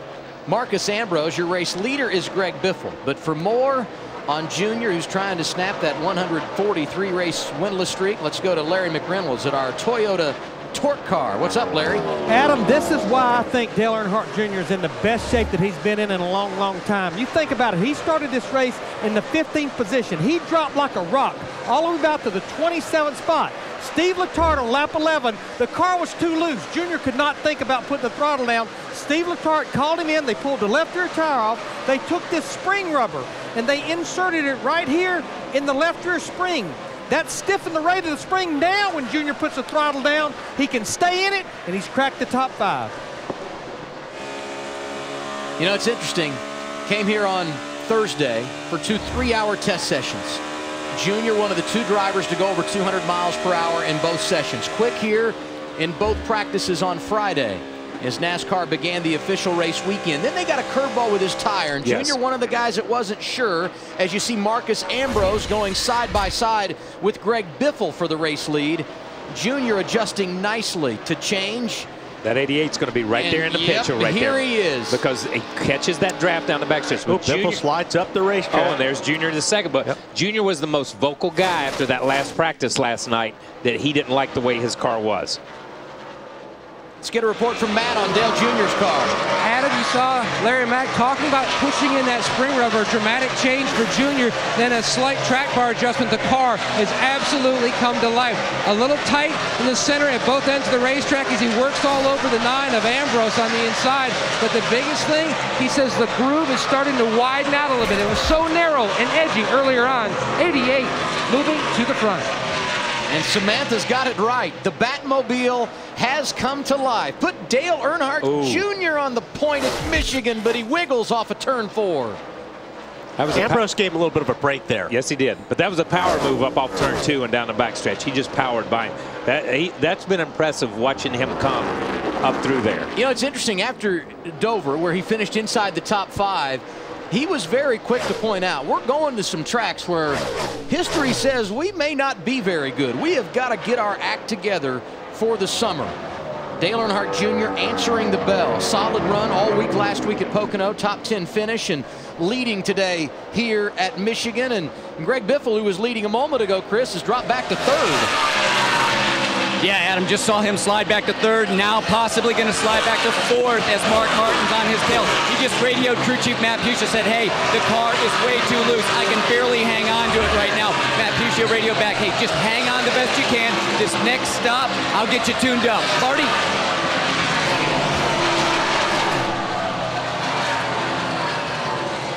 In front of him is Marcos Ambrose, and actually kind of an odd thing. These cars love clean air, but Marcos said his car is actually a little too loose when it's out by himself. You know, Wally, sometimes you'll make these cars adjusted for running in traffic, and then when it gets in clean air, it handles completely different. Well, actually, uh, you're right, Marty. If he if he could get close up to another car, that makes his car push, which kind of balances the car out.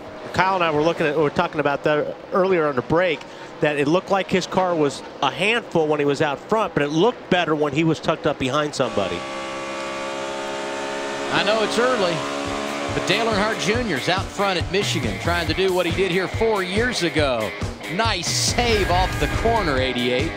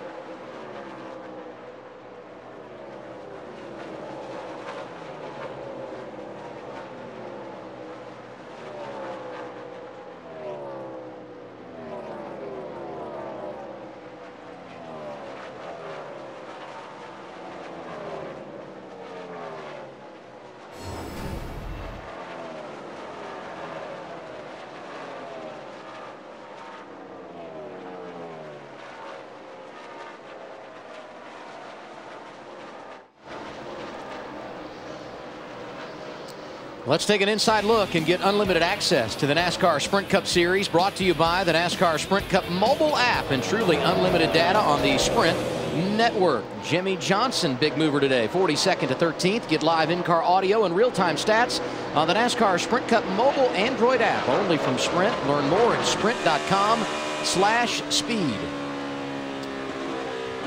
11 lead changes today among six different leaders.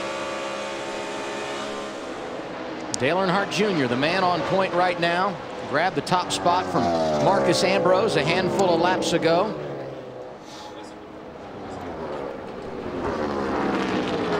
Marcos Ambrose, Greg Biffle, Mark Martin, Tony Stewart are the top five. Matt Kenseth, who had some issues on pit road a moment ago, is sixth. Brad Keselowski is seventh.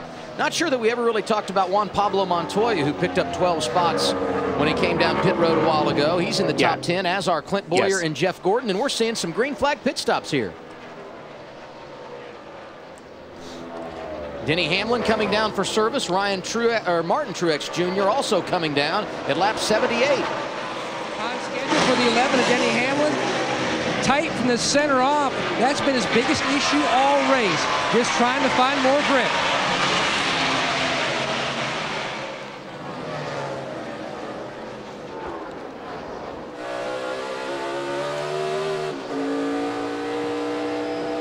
Last time everyone pitted under caution at lap 52. That's 27 laps on this run.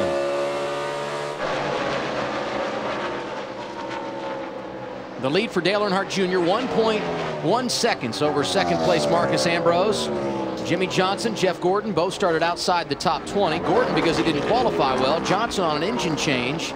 Gordon is in the top 10 in 10th and Johnson right behind him at 11th. And Carl Edwards starting to make some things happen. Junior's really been the first guy who's driven to the front, taken the lead, and driven away. The other guys, as, as we saw, the 16 car of Biffle, or the 17 of Kenseth, or the 9 of Marcos Ambrose, when you look at it, they could just maintain. AJ Allmendinger spent a lot of time in the top 10. He comes down and make a pit stop, and while he's there, we get a caution for debris. A lot of damage on that right rear of the 22. I don't. I don't obviously know, got in the wall or something, but I don't know if it's a crush panel or something out of that race car that that's that has caused the debris on the racetrack. You can see it just kind of sticking out there to the right. Allmendinger spent a lot of time inside the top 10. There you see some foam blowing around on the back straightaway. Well, that's out of probably Allmendinger's car. car. Yeah, yeah. Wonder where that foam came from. That's that's that's. here we go. Right and here. here. we see him. Well, it's already kind of No, laying it's there. already there. That's um that's interesting on where that came from. Well, they've Um, been a lap before. Yeah. If he has, I don't. I can't tell if he has Yes. the damage there or not. Well, you'd think we would have been able to see that, though, with the way it's. Well, they're saying it, it came out of the SAFER barrier, not from a race car. Yeah, and at, at certain angles, you can see there's huge pieces of foam stacked between the SAFER wall.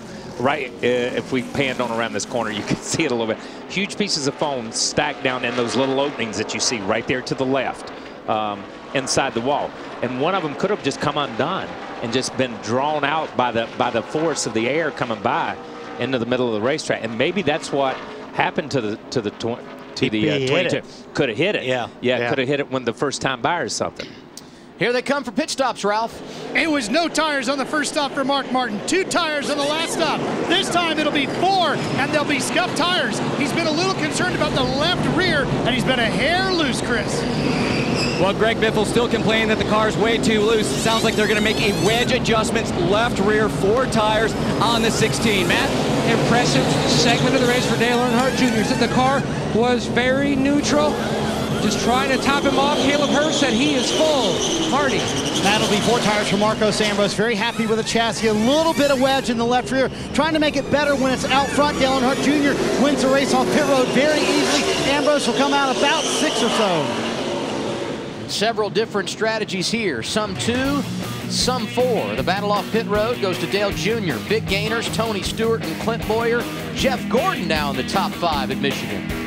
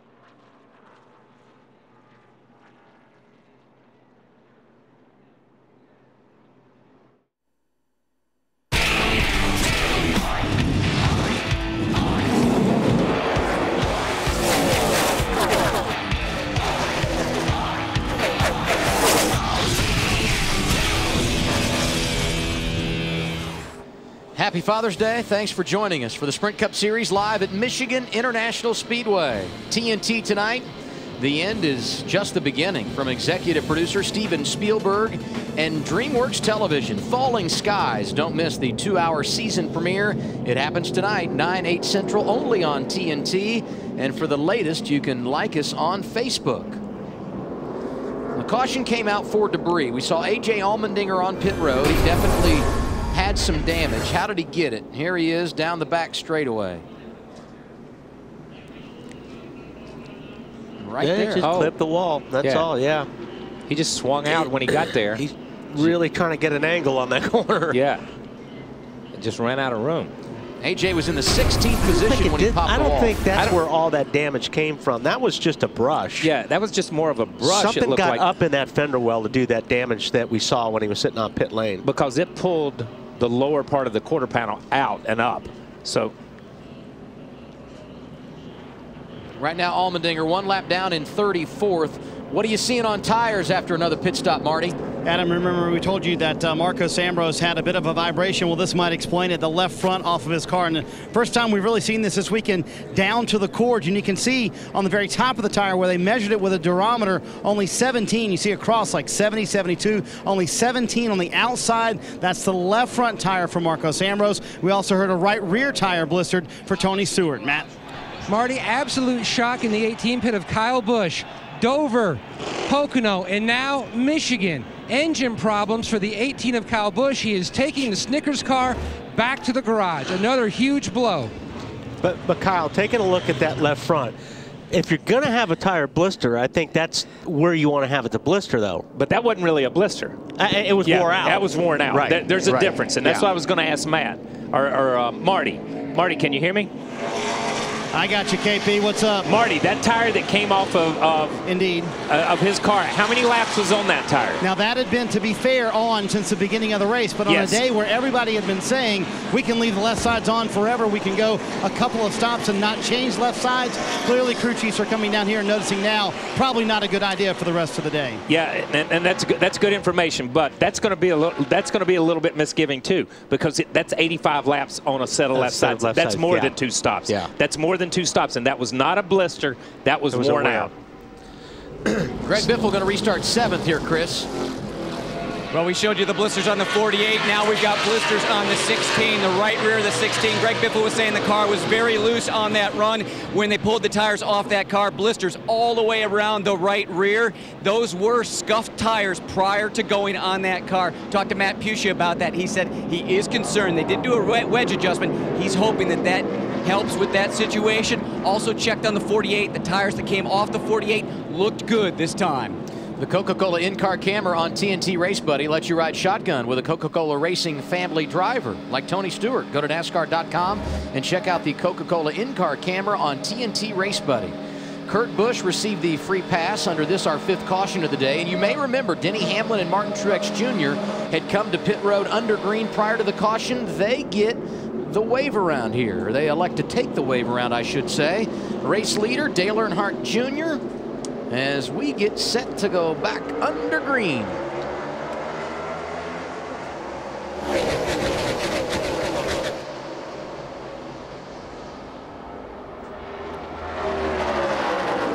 You see Stewart, up- Stewart up there, and Marty could probably touch on this.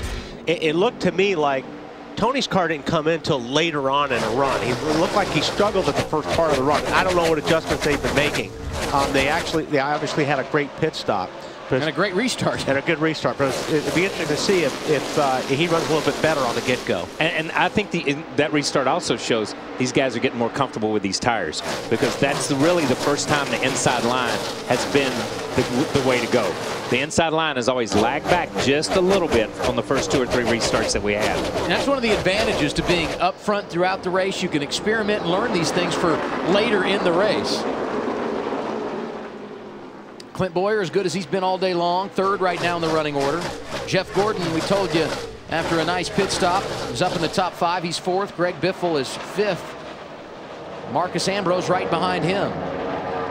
Give a call to Ryan Newman. Changed an engine, started at the rear of the field today. The two-time Michigan winner has put himself in seventh spot. Jimmie Johnson did the same. You see him right here in front of Matt Kenseth. He is 16th in the running order. Yeah, Jimmie's kind of been hanging around that spot.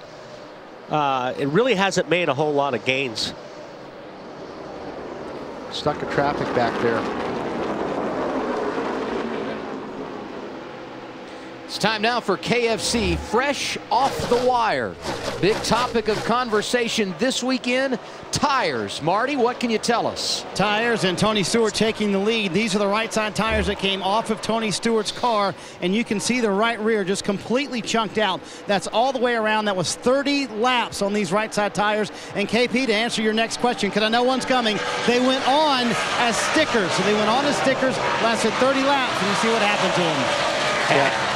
That's not what you want to see. No, that's not what you want to see. And that's one of the things these guys got into. And, I, and I'm not sure Marty and those guys in the pits will have to check this. But a lot of these guys, and we talked about it in practice on Friday, had scuffed all their tires to prepare for this race. When they brought new tires in and the left sides, I'm not sure how many more laps they put on their right side tires or whether they scuffed them again. But everybody talked about putting two or three cycles on a set of tires made the original tire here better. Hang on, and Mark goes. And tires, what are fresh off the wire this weekend at Michigan. For more fresh off the wire presented by KFC, visit NASCAR.com. Larry? Yeah, all they're due when they scuff these tires is that you just have to run them one or two laps and just bring them up the temperature and then come in and let them cool completely down. And it actually hardens them up a little bit, which makes them just a little tougher, possibly where they won't blister. I want to give a call out there that Austin Dillon's did a nice job today. He is. 33 car right there. Austin Dillon won the Truck Series championship last year figuring nicely into the nationwide championship Ooh. battle and right behind him Oh, look at, look at how it moved uh, Johnson up. You saw Kenseth slide up the racetrack, and Jimmie Johnson had to give him room. And boy, when she got the gray stuff, you're done. And, and you see, he has to get all the way out of it. Now, Now he's he's cleaning, cleaning his his tires, tires. yeah. Exactly. Now, by the time he gets to the corner, two or three cars have gone by him, and he's got to go in on the high side again, which is not where you want to go when you've got dirty tires. Casey Kahne got by, so did Aric Almirola, and here comes Martin Truex Jr. Took the wave around after pitting under green prior to our last caution, and here's the driver of the 56 knocking on the door of the top 15. I- I'll, I'll say that move when you saw Kenseth go down in the corner and slide up and almost slide into the 48 car of Jimmie Johnson. These guys are driving right now and giving each other plenty of room and respecting each other's space right now. You don't see that really hard side by side. You see these guys giving each other room. Tony Stewart, and the man out front. He has a win at Michigan, closing on halfway on this Father's Day edition of the NASCAR Sprint Cup Series. Glad you're with us on TNT.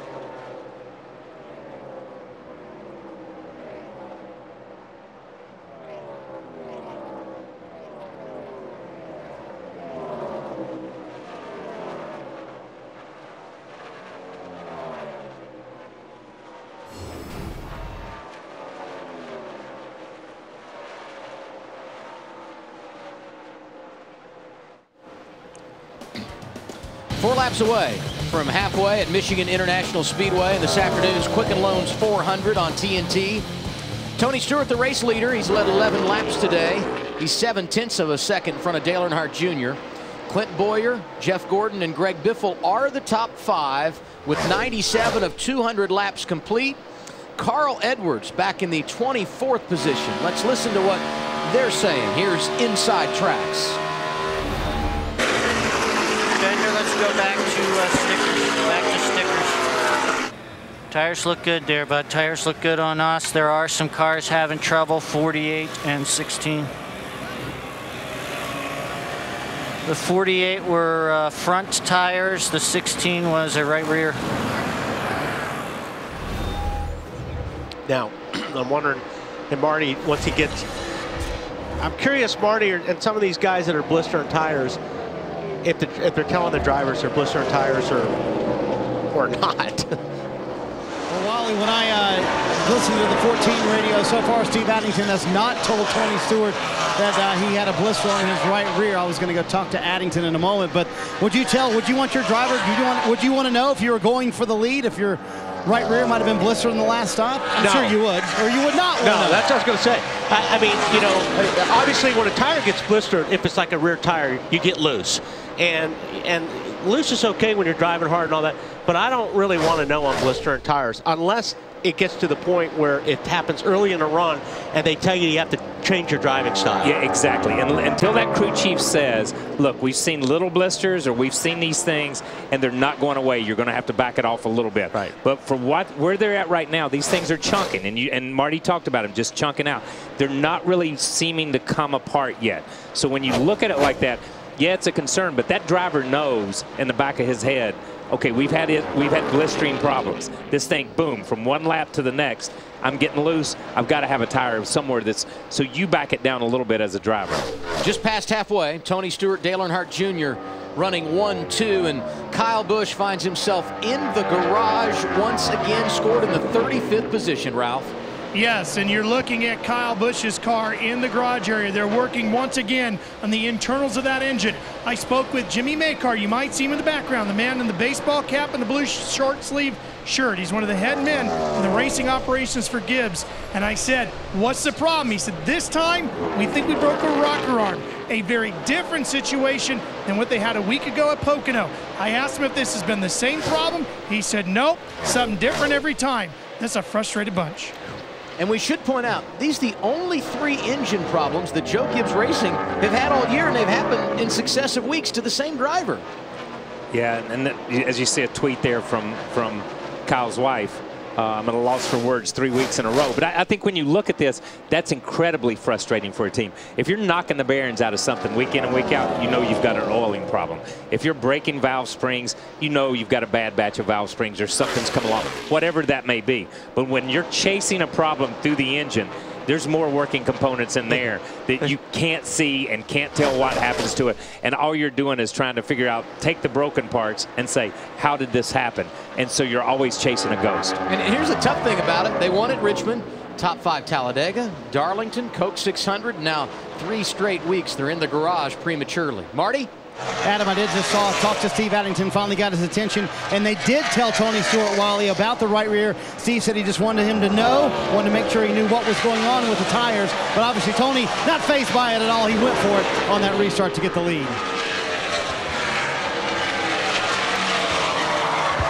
Yeah, guys, just back to Kyle Busch and that 18 team, talking about three consecutive engine issues. You think about Dover, they had a reason. Too many RPM buzzing the tires, they broke valve springs. Last week, Dave Rogers told me it was pretty much self-inflicted from an oiling system issue, and now a broke rocker arm probably definitely has them scratching their head. I'll tell you who's going to be scratching his head in a moment. Tony Stewart, because he's got company. Here comes Dale Earnhardt Jr. Yes, the dark night is rising through the standings at Michigan.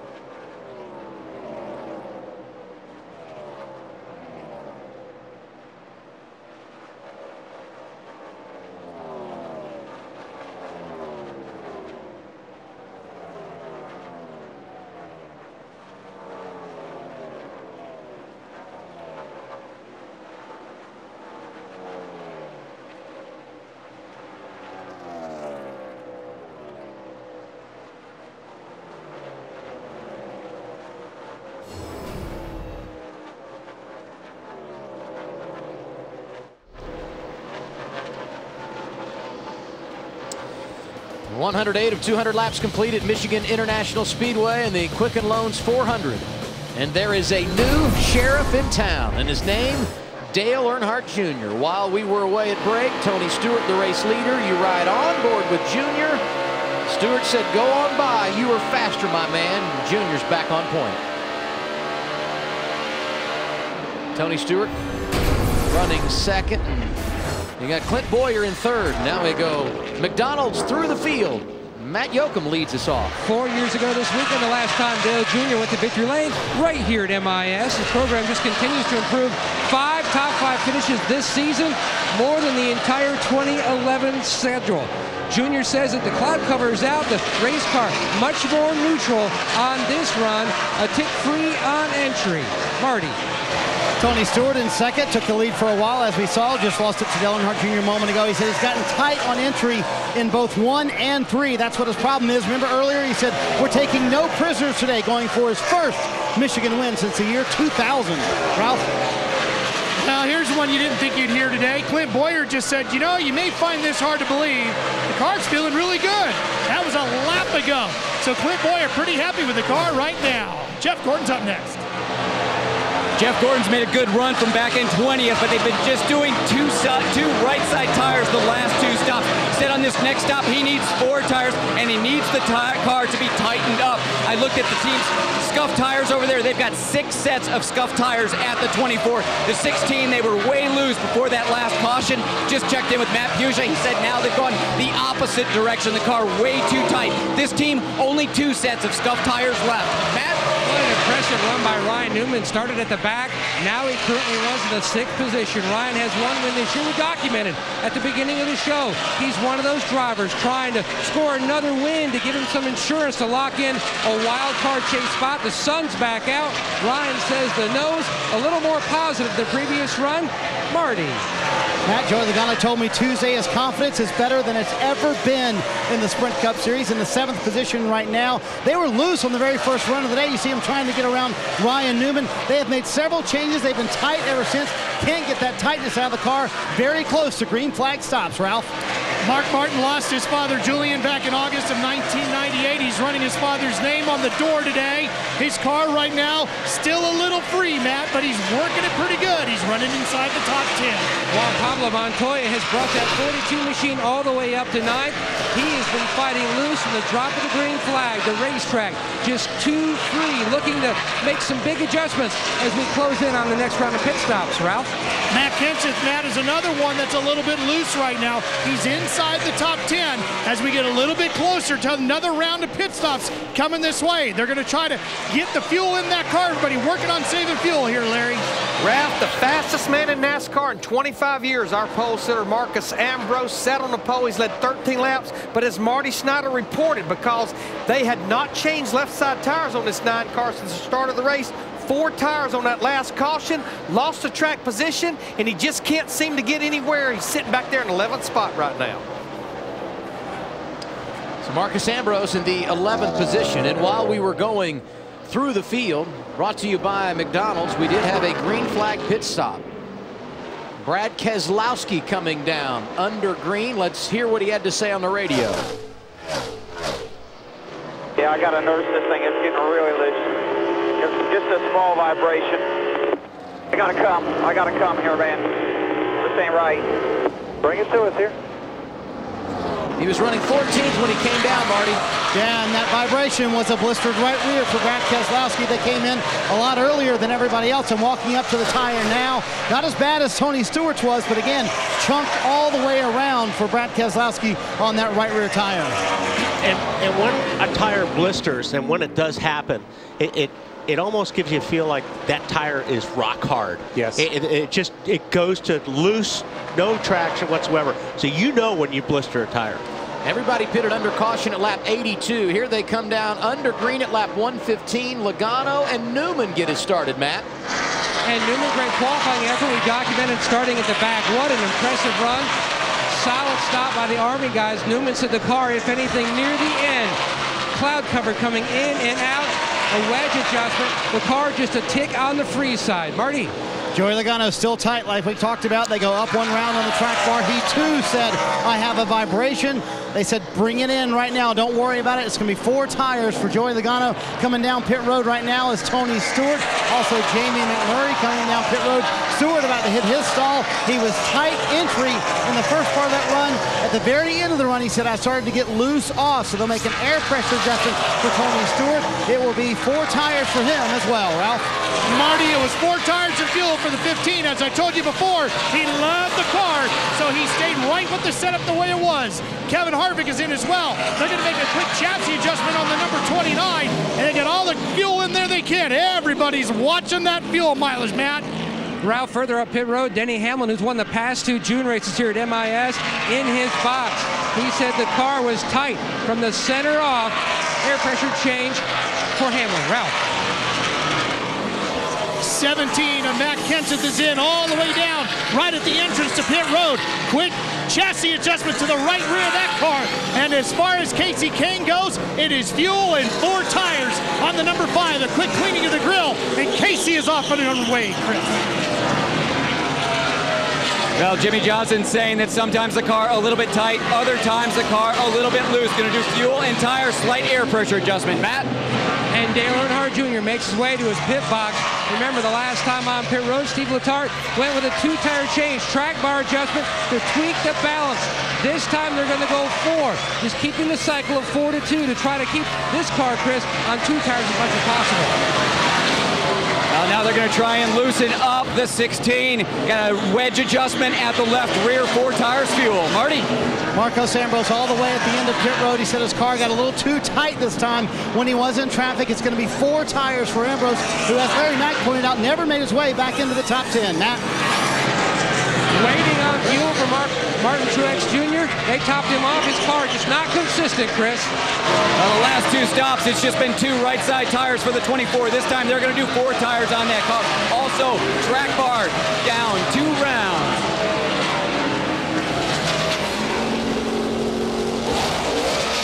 Jeff Gordon getting his service at lap 119. And we have just about gone through the complete cycle of green flag stops as we have crossed past the middle stages of the Quicken Loans 400. One driver that is yet to come to pit road under green, the man you see right here, Juan Pablo Montoya, has inherited the race lead, and we have a caution, sixth of the day, and once again it's Kurt Busch down the back straightaway. I think Kurt would like to go home right now. Yeah, and, and you know, he's already got damage, so he's got his hands full anyhow. We've seen him uh, in a couple of different shots uh, with faster cars and him pulling down, getting out of the way. Uh, but that thing was was pretty much juking and jiving on him a few times. It, it was, yeah, he was having a hard time when it was good. When it was good. yes.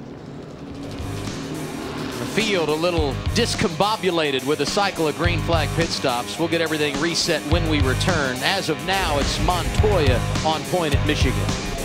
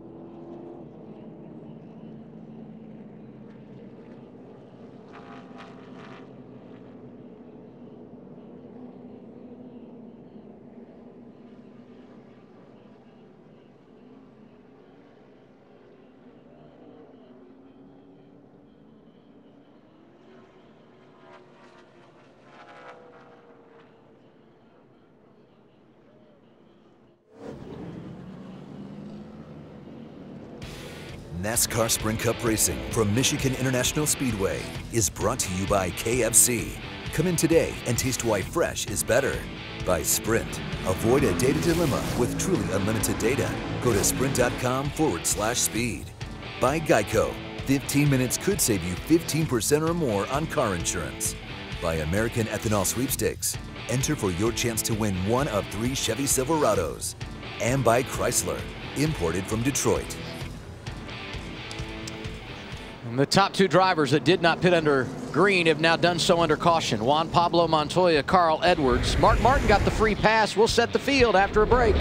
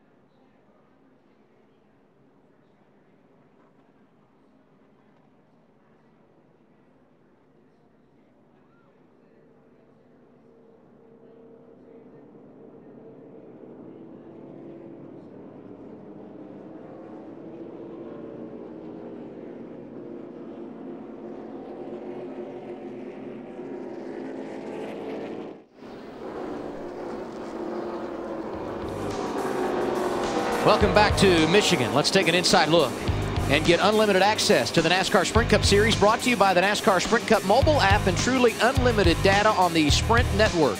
Most laps led today. Greg Biffle, 35 circuits. He's been out front this afternoon. And get live in-car audio and real-time stats on the NASCAR Sprint Cup mobile Android app only from Sprint. Learn more at sprint.com slash speed. And speaking of speed, the top speed today, Tony Stewart, 215 miles per hour. So a number of drivers had made pit stops under green. The two that hadn't, Juan Pablo Montoya and Carl Edwards, they came in under this caution. The driver that got the free pass was Mark Martin. 21 drivers took the wave around. And now that we have reset the field, the race leader will be Jeff Gordon and Dale Earnhardt Jr., who was leading when that cycle of green flag pit stops began, will restart second. And right behind him on track was Tony Stewart, who restarts third. And Bowyer, who was running in the third position when that cycle of stops began, restarts in the sixth position. Well, we got a chance to look at Jeff Gordon out front. Picks the inside lane. Haven't seen him there in a while. Team that needs a good break. Opportunity to get it done here. Outside lane, Dale Earnhardt Jr. Didn't work great for him a while ago when he was the race leader. We'll see what he does here as he restarts the runner-up. When the green goes, goes in the air, we complete lap 125.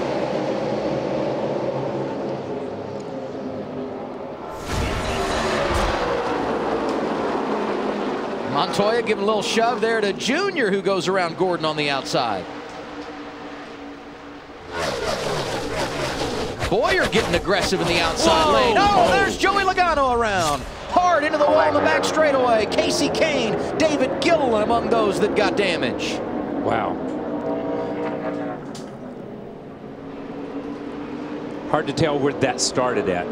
You just saw the 20 car come back across the racetrack the Yeah. wrong way. Yeah, you don't- you don't know if he got tagged or not, but wow. Look at the damage on that. Logano trying to drive it, and he's going right into the wall with that damage he's got. Casey Kahne able to drive away, but for the second consecutive week, he's going to experience disappointment. Top middle of your screen, Joey Logano, in the orange car.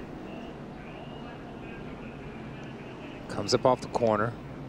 Uh, he just turned down to avoid yeah. the 38 car, and when he did, it just got loose on him. It got loose, and then he overcorrected right around 38. I mean, Yeah, that was like he was going Gilliland, the 38 car. Like he was going to slap the 38 with his right rear, and then drove right around the front of the 38. Gilliland got way up There in the is. racetrack, and he's just uh, Logano just went down to avoid Yeah. him. And yeah, it- cold tires, you know, new tires. It's like Joey spins himself trying to keep from hitting somebody. Yeah. Two of the last three drivers to win in Sprint Cup competition involved in this accident. Logano last week at Pocono, a few weeks ago. Casey Kahne in the Coke 600. And, and that 38 obviously pushed up the racetrack, just like Wally said. As he was on the high side, he really let off because those cars were really streaming by him on the inside there.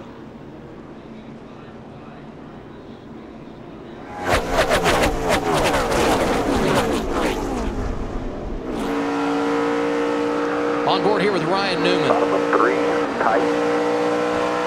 Two wide outside, tight. Slow car up top, go low, go low, go low. The wrecking over there. Stay with it, stay with it. Inside, one back, clear.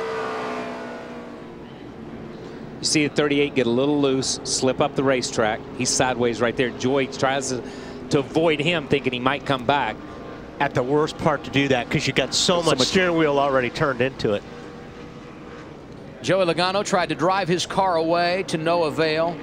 He did climb from his machine, go to the ambulance. He'll make the ride to the infield care center. Talked as we opened up our show today about how wild things have gotten in the wild card standings. Let's stir it up a little bit more. Jeff Gordon running inside the top five. A win would get him involved in the wild card conversation. And two drivers that already have victories inside the top 20, Casey Kahne and Joey Logano, having problems here today, Larry. Hey, Adam, you might have a hard time convincing Joey Logano, Casey Kahne, or David Gilliland because it obviously didn't work out for them. But think about those other 18 drivers that took a wave around. That's exactly what they needed right there. In fact, a lot of them, I think, will come to pit road like Brad Keselowski. Remember, he hadn't been on pit road since lap 109 with a blistered tire. Yeah, he's the big beneficiary, Larry, because he pitted under green earlier than most drivers. There's a lot of drivers that were in that cycle of green flag stops that weren't too far off everyone else. BK getting a huge break here. Tough times for Joey Logano, David Gilliland, and Casey Kahne. It's off to the garage for them.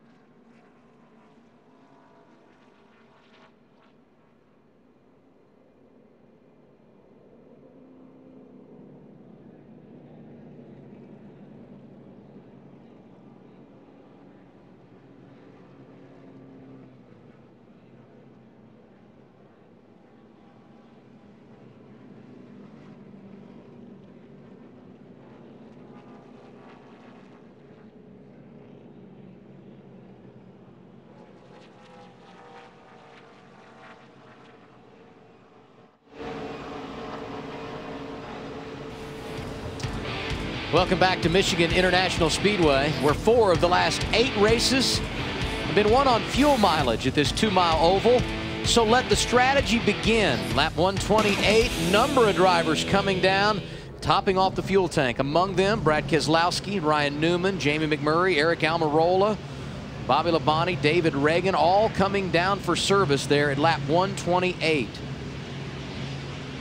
And of the drivers that stayed on track, Dale Earnhardt Jr., Jeff Gordon, Juan Pablo Montoya, Clint Bowyer, and Tony Stewart.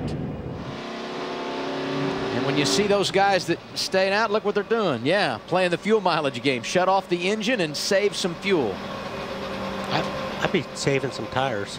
however, however you do that. How you gonna do that, man? That's good. 129 of 200 complete today in the Quicken Loans 400 at Michigan.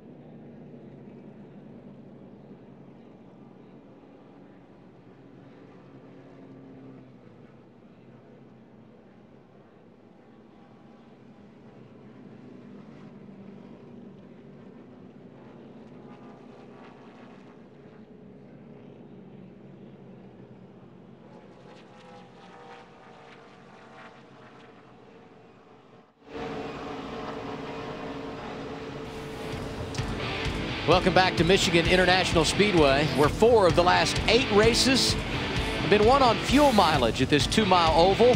So let the strategy begin. Lap 128, number of drivers coming down, topping off the fuel tank. Among them, Brad Keselowski, Ryan Newman, Jamie McMurray, Aric Almirola, Bobby Labonte, David Ragan, all coming down for service there at lap 128.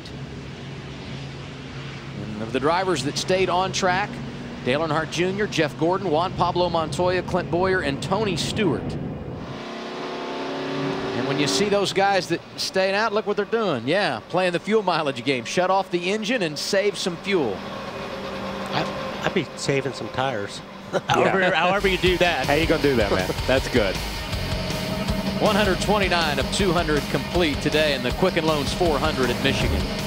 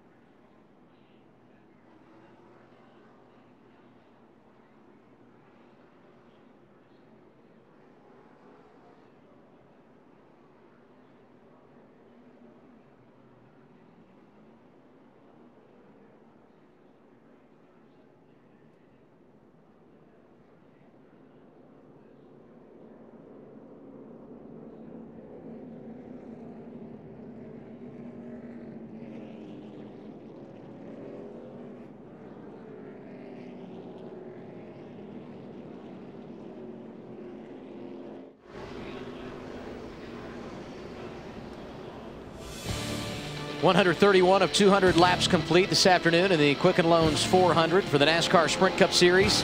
Under caution for the seventh time today, Joey Logano, David Gilliland, Casey Kahne, all involved in an accident on the back straightaway. Logano went to the infield care center. He has been checked out and released. Good news there. And now we update our AT&T Fastest Driver Challenge. Greg Biffle running seventh right now as the fastest time so far of those drivers that qualified in the top four. Sign up next week by texting FAST to 34763 or visit attfastestdriver.com. AT&T Rethink Possible. Chris? Well, Jeff Gordon having a good run, sitting second right now. Just checked in with crew chief Alan Gustafson. He said they can do it in one more stop and no issue with tires on that car. They've looked good coming off the 24 all day. The 16th, back, the 16 back in seventh. They can also do it one more stop, but they are concerned about tires. Matt? Ryan Newman back in 15th. They topped off on lap 128. At this juncture, they are good to go on one more stop. The question on the previous run, he had a blistered right rear when we had that segment, Marty, where we had sun and shade.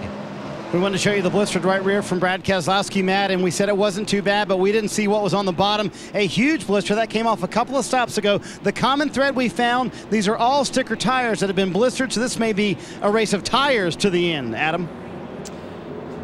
We'll complete lap 132, Marty, when the green flag goes back in the air. Dale Earnhardt Jr., Jeff Gordon, teammates at Hendrick Motorsports sharing the front row, and Tony Stewart getting out of line early as we go down into turn one. And they're going to be three wide.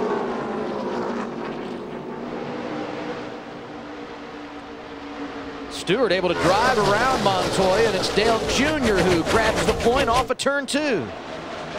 Greg Biffle in that mix.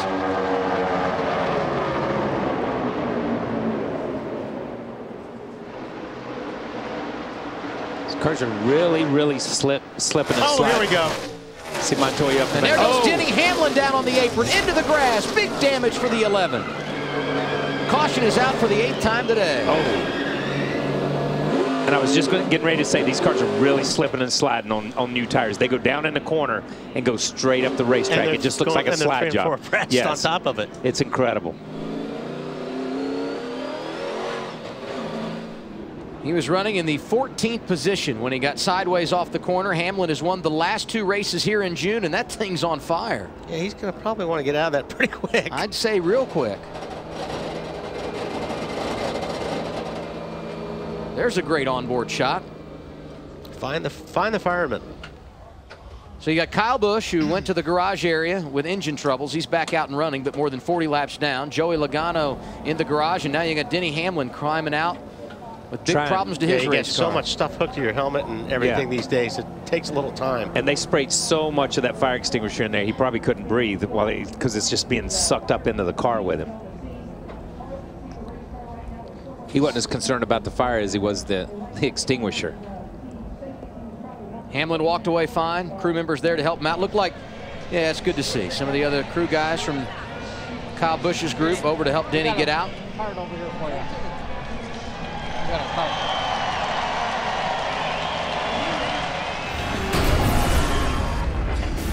Here's the replay on the inside of Truex. Harvick to the outside, Newman to the inside. They just Four ran out wide. of room down there. Yeah. Just look. Did he get tagged by the 39? I, I don't think he got tagged. Look, uh, well, look at the 39. I don't know. Look at the 56. Watch in front of this accident. Uh, the 56 all of a sudden goes up the racetrack. Um, I don't know that he. It's almost like he was like the 22. You see right here, he's down on the inside. Or I think the 39 may have just 39's tagged right there. A little bit. Yeah. Yeah. And the then he 39 in- was loose, and then- he corrected and. And I think he, and he got into the 56. You see the 56 Yeah. wa- wobble Yeah. and get into the car in front of him. You see that one puff of smoke. That might have been the 48 of Jimmie Johnson. Probably lucky we didn't have more guys involved in that accident. That, that was like they're four wide and all four cars touch. That's what it almost looks like. You see it. This will be a good shot right here. See, 11 right there to the right. Bottom of four. Yeah. Right of there, you got him. Back to two now. One bumper tight, clear high, clear high. Come on. He's still okay. Green. Come on, still green. Come on. But a Caution scary now. ride Caution, for Denny Hamlin, Matt. And he is catching his breath. A, a lot of fire retardant stuff going off. Are you okay first?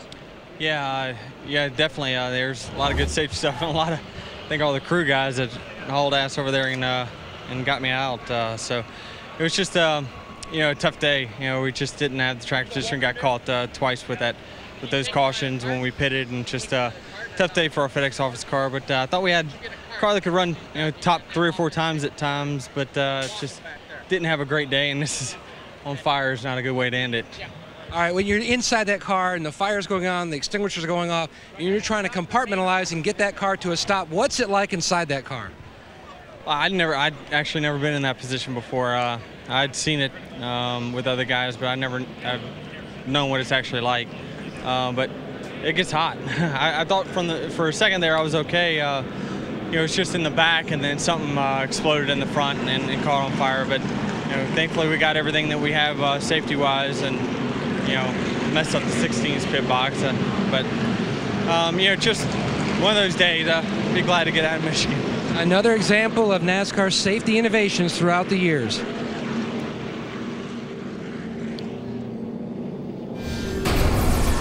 So what it looked like inside the cockpit. Here's the onboard camera with Denny Hamlin. Make sure you got brakes here. Stop right here and get some fire. Get out of it. That's out the back. Get out, get out.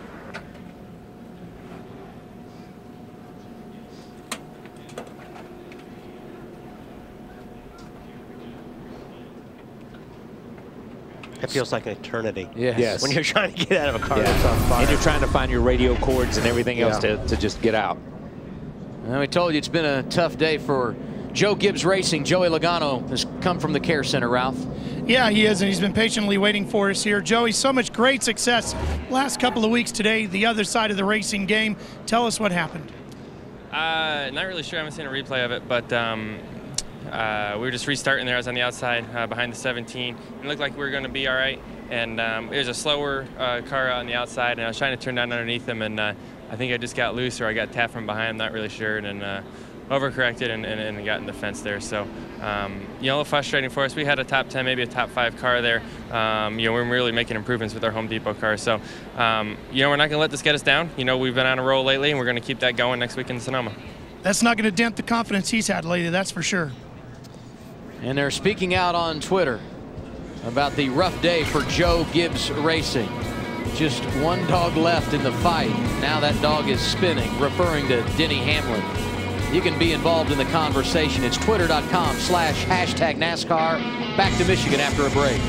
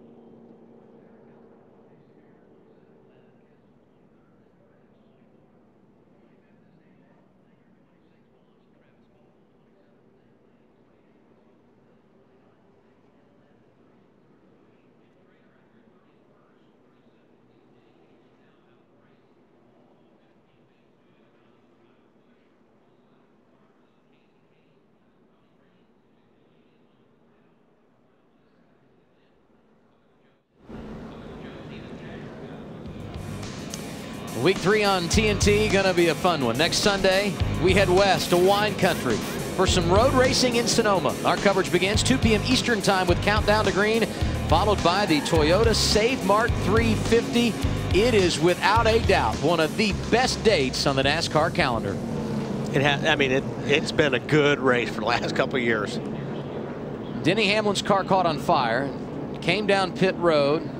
They extinguished that, and a number of teams having to work on their pit areas to make sure all the debris and liquid is gone. Larry? Adam, let's go into Larry Mac's toolbox and let's take a look at Carl Edwards, the 99 cars day. Remember, he started back in the 40th position get our old touchscreen to work here. And he came in here outside the top 10 in points, but as you can see, he started making gains throughout the day. Now, they have made four pit stops, but the key pit stop was right in here about lap 52 when they went with two tires. But the real key was right here on about lap 120 when just remember, all drivers except Montoya and Carl Edwards had made their green flag pit stops, and now Carl Edwards has cracked the top 10. But the big deal, guys, right there, 10th in the points. That's going to be huge for Carl Edwards if he can stay up there. That is a nice circle, Larry. That was very nice. I think he does it as maps of the state. Yeah, that Yeah. was. Oh, that was- uh, that graph good. looks. Michigan. It was Michigan. That Michigan. graph looks about like my stomach. I'm, I've been about. It's just gradually the gotten Vegemite? hungry and hungrier and hungrier. Well, you, you got to give a nod to the guys over in the 99 bunch, and a special thanks to Bob Osborne, Carl, and that entire crew for letting us ride along today via Inside Tracks. It's always great to be able to go on board with them. Here's Paul Menard getting set for the restart. Dale Earnhardt Jr. leading. He's led more laps than anybody today. 41 of the 138 complete. Next on that list, Greg Biffle at 35. There you see Jeff Gordon in second, right in front of this guy, Clint Bowyer. Now we look at Tony Stewart. All these guys inside the top five. There's Greg Biffle in the fifth position. And there's the guy that's pulling them all around, Dale Earnhardt Jr. Another great day this afternoon.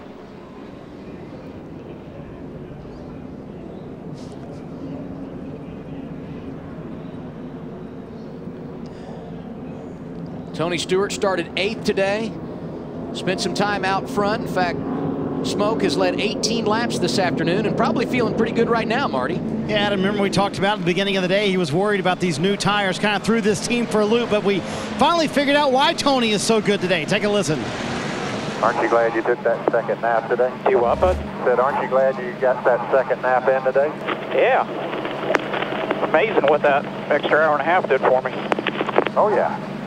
And that's what got Tony so good. Uh, Adam, I thought the key for our broadcast today was when Wally slept from lap zero to about 100. I thought that was a big key for Wally today. Don't you agree, Adam? And not to mention the two hours when it was raining before we went on the air. What did you do while that nap. rain delay was that going on, was a Wally? good nap. There was a lot of peace up here in the, in the booth, wasn't there, Wally? Great booth time. He slept from the start of the race, lap 100. He's been eating French fries since lap 125. Nothing wrong with that. Nothing Yeah. wrong with that. He's not the only pea in that pod. We're getting down to it here at Michigan. Been an interesting day. Rain delay of a couple hours earlier this afternoon. All the weather is gone. Sunshine, gorgeous Father's Day here in the Irish Hills of Michigan. And if you are just joining us, so glad you were here. And you may see the big one for Dale Earnhardt Jr. Hasn't won in four years, but he's out front right now. Going to choose the outside lane on the restart. Jeff Gordon inside of him. Clint Bowyer, Tony Stewart, Greg Biffle, Juan Pablo Montoya, the front three rows. Larry talked about Carl Edwards' day. He restarts alongside his teammate and the championship leader coming in, Matt Kenseth. 60 laps to go when we go green. And that's right now.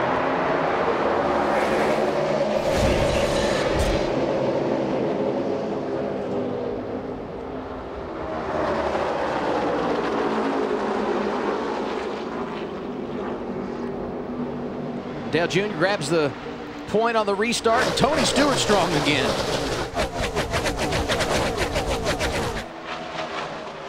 Look at Jimmie Johnson moving out of line, trying to get inside of Ambrose. Yeah, that was nice. and he does it successfully. Oh, oh. Yeah, Carl and Madabout got together in front of him. And I think it may have killed their momentum because Johnson's looking for more. Yeah, definitely killed the 99 of Carl Edwards. Definitely killed his momentum. How about Jimmie Johnson? Started this day at the tail of the field with an engine change. They've worked hard all day to get to the front, and right now he's scored in the eighth position. Johnson never won here at Michigan, one of five tracks where he's yet to go to victory lane. Got to give a call to Montoya, who's sixth. And he has been in the top 10 most of the day. I mean, they've just kind of hung in there. And we've we've documented over the last, you know, couple of weeks, but even on doing other stuff, how the Ganassi teams just have not performed this year like they have in the past. Teammate Jamie McMurray back in the 13th position right now. Six of the top 10 in this race represented by Hendrick Motorsports and Roush Fenway. Dale Jr. leading the way. Teammate Jeff Gordon is third. Jimmie Johnson is eighth. Roush Fenway organization has uh, Greg Biffle running fifth, Matt Kenseth seventh, and Carl Edwards in the ninth position. As you look at the aforementioned Jamie McMurray, who's looking for a top 10 finish. Tell you, Harvick had all those problems with his race car earlier, and he's knocking on the door of the top 10 right now. Yeah, you know, earlier we thought he was making some major adjustments. He was not making adjustments at that point in time. They were had had that dust cap cover. Um, that, that was an issue. And that got him way out of track position. And it's taken him a little while of passing cars and working through the cycles to get back up uh, to be a top 10 or 15 car. Saw Matt Kenseth go around Juan Pablo Montoya. Jimmie Johnson looking for his chance as they come off turn four. After Denny Hamlin talked to our Matt Yocum a moment ago on pit road, he did have to go to the infield care center. He's gotten checked out and been released.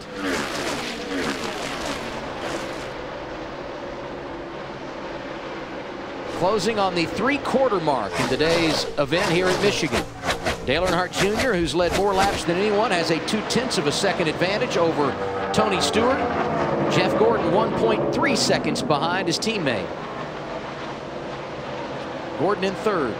Bowyer and Biffle complete the top five. And behind them, there's the battle. Kenseth, Montoya, and Johnson, sixth, seventh, and eighth right now.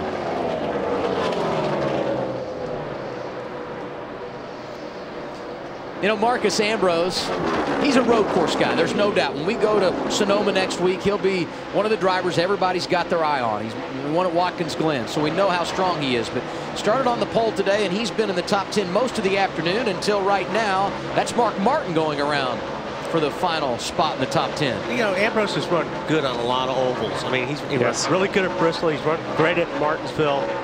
Uh, you know, they, they keep putting runs like this together. He, he's going to get an oval win. Yes, he is. And, and you know, his cars seem to be better on a longer run. We saw it early on. Uh, he wasn't good the first five or six laps. Biffle just makes a power move on, on the 15 car of Clint Bowyer. But I'm impressed with Clint. When you go down the list and you look at it with Michael Waltrip Racing, it's a Toyota in the top five, and it's Michael Waltrip Racing, uh, which is pretty big. Clint, some of these places Clint just latched onto, and Michigan was one of those places. Uh, really, when you start looking at it from from when he came here, he liked this place. Working with a new crew chief, with a new team in 2012. Top 10 in points have been very consistent, although Bowyer did just lose fourth to Greg Biffle. And that last time around, Biffle found himself 2.9 seconds behind the race leader, and that is Dale Earnhardt Jr. Just over 50 laps to go at Michigan.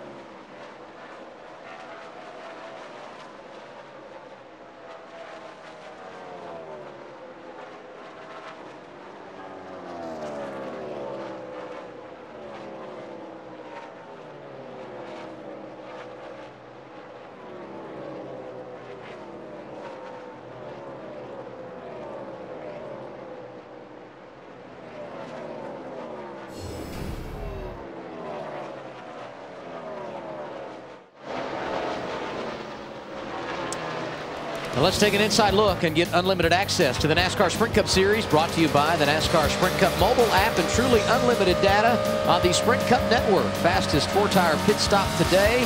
Tony Stewart's bunch, 12.4 seconds. Get live in-car audio and real-time stats on the NASCAR Sprint Cup mobile Android app only from Sprint. Learn more at sprint.com slash speed. 17 lead changes today among 10 different leaders. Dale Earnhardt Jr. is the man in charge right now. He's led more laps than any other. 55 circuits he has been out front this afternoon. Yeah, but he's checking his mirror quite a bit right now because he's looking at that 14 up in the mirror. He's not pulling away from it as he was earlier. Last time around, he was three tenths of a second in front of Tony Stewart. As we close on the end of this one, let's go through the field, presented by McDonald's. Not a lot of breathing room, as you mentioned, from Dale Earnhardt Jr. back to second to Tony Stewart. Jr. says the car barely too snug in the middle of the corners at both ends of the racetrack. Over the past 142 races since his last win, he's second six different times. Maybe today is the day he revisits victory lane. Marty? Matt, I would say Tony Stewart is stalking back there. He just said on the radio to his team, he ain't going anywhere. Talking about Dale Earnhardt Jr., he's hanging right where he wants him to be. Probably about 10 laps or so from a stop. Stewart riding the momentum of four straight Michigan top tens, trying to make it five in a row and get a win, Chris. Well, Jeff Gordon trying to get that monkey off his back today. They look to be in pretty good shape. That team has not had any problems with tires all day long. They'll be coming in for a pit stop probably in the next 10 laps. The 16 car, they had issues early. They put a spring rubber in the left rear. That car working a lot better now. And that team really prepping the pit box down here for that final pit stop because this is exactly where that 11 car caught on fire. This is when it's all about the spotter and the driver. The spotter telling the driver, just keep hitting your marks. That's what the word is to Clint Bowyer right now.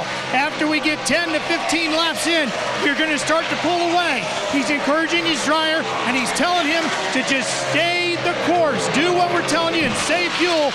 We got a fast race car.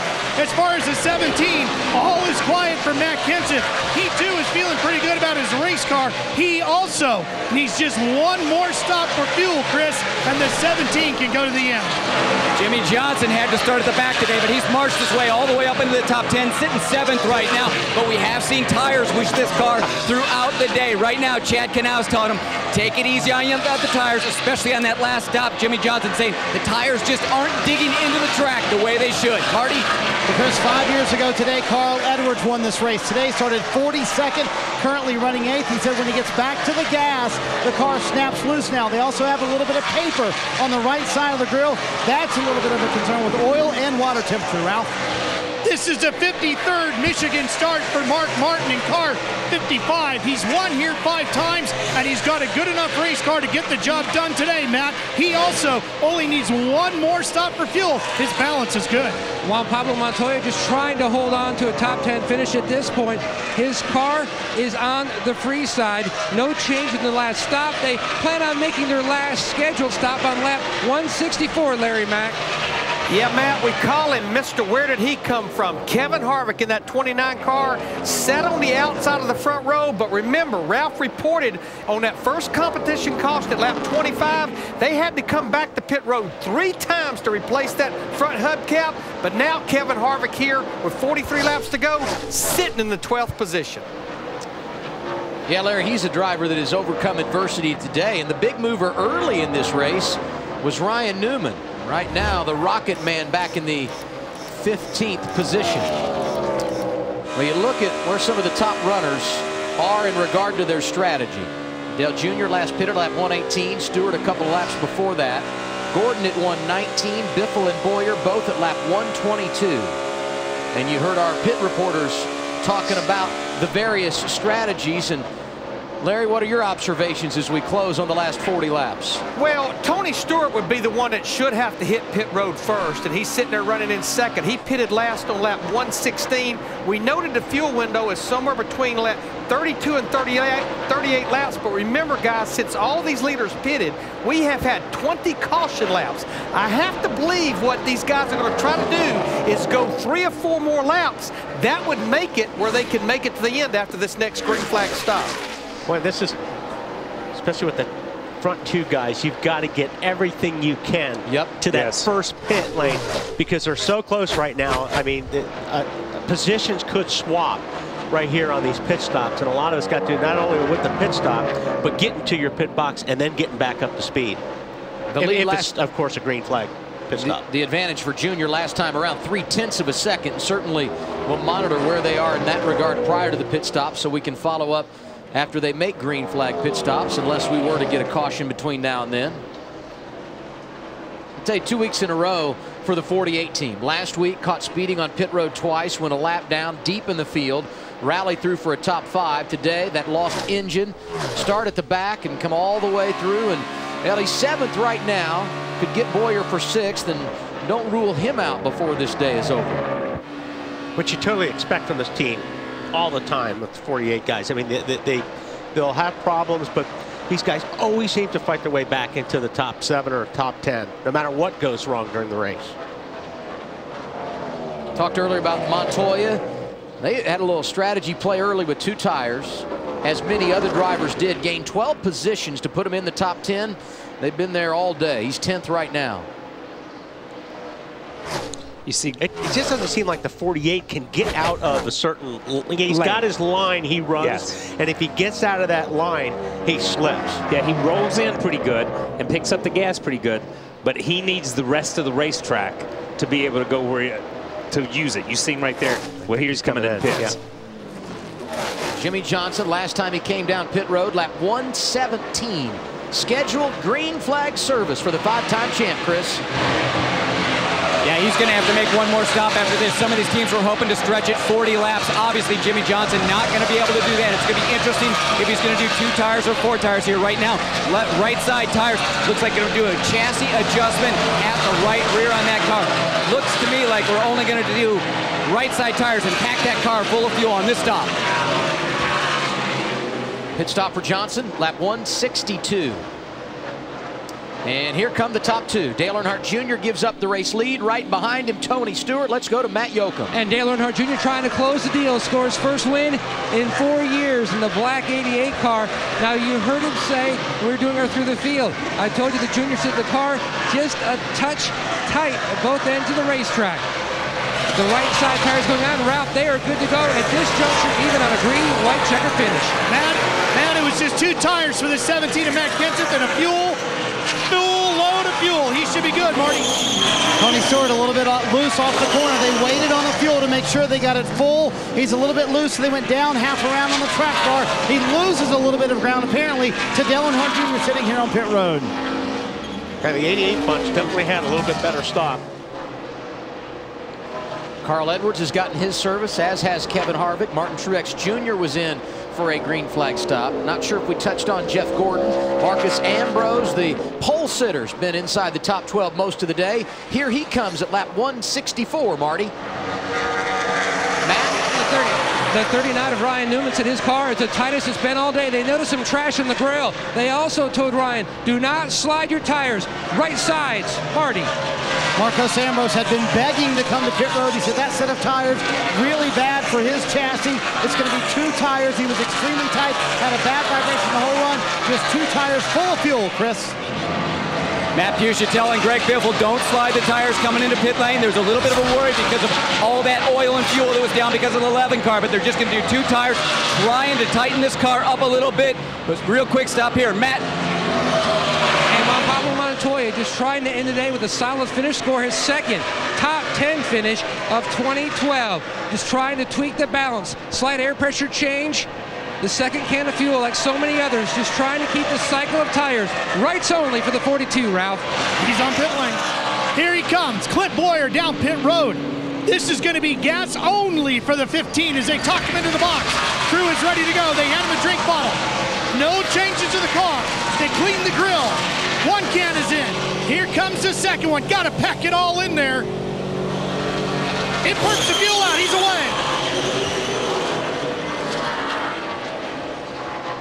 Mark Martin running inside the top 10 has also made his pit stop for service at lap 166. Austin Dillon doing a great job this afternoon in the 33 car for Richard Childress Racing, making a green flag stop here as we close on the latter stages at Michigan. Jamie McMurray, the race leader, after everyone else had pitted. Now he will give up the top spot and come to pit road. Dale Jr. has cycled back up to eight in the running order. Here comes McMurray, Marty. Yeah, they've had a pretty good day, Adam. McMurray told me before the race started that the new tire really helped out their chassis set up a bunch. They had a loose car for much of the first half of the race, but it's been better here in the second half of the race for McMurray, running around the 12th position for much of this run. It'll be right side tires for McMurray and McMurray and full of fuel. They tried to clean the grill. They have a little bit of debris there. They didn't get all of the debris off that grill, Adam. Brad Keselowski, Jeff Burton, the only two drivers that have not pitted in this exchange under green. Dale Earnhardt Jr. back up now running in the third position as things continue to cycle through. And once Brad and Jeff Burton make their stops, it will be Junior, Stewart, Biffle, Kenseth, and Jimmie Johnson, the top five. And based on the numbers we're seeing right now, Johnson would have picked up two positions in this exchange of stops. Brad Leaton at his home track, but he's going to have to pit in a moment. Back to Michigan after a break.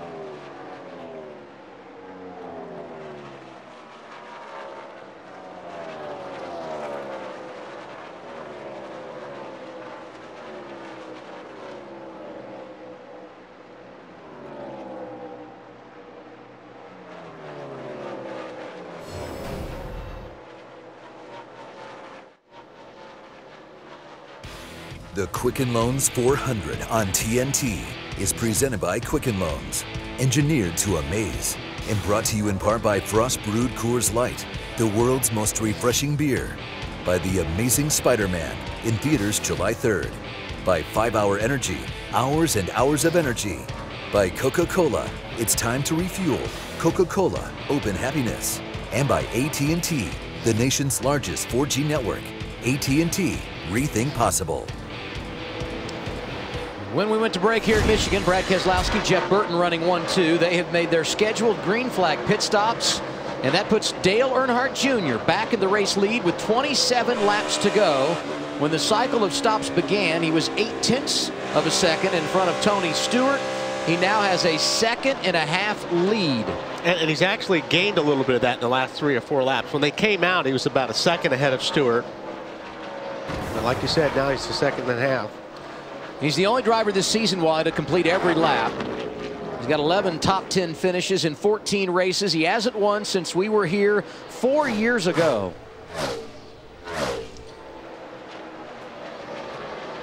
That that that top stat, only driver all year with the with the stat. That's, that's an impressive stat. That truly is. Because the two of you know how difficult it is to bring it every week. Yes. It, it- we talked about it earlier uh, at Pocono that you keep putting those runs together, you're going to win a race eventually. Matt Kenseth out of shape opens the door for Jimmie Johnson. This is the battle for fourth. Jimmie come up at him and it just that 17 got free. Johnson grabs the position. And Jimmie's a little faster right here. The 17, as we noticed earlier, had worked his way around Juan. Then the 48 had to work his way, and there was a huge separation. The 48 had run the 17 back down. And want to confirm for Jimmie Johnson fans, he made that pit stop at lap 162 under green. He is good to go the distance on fuel.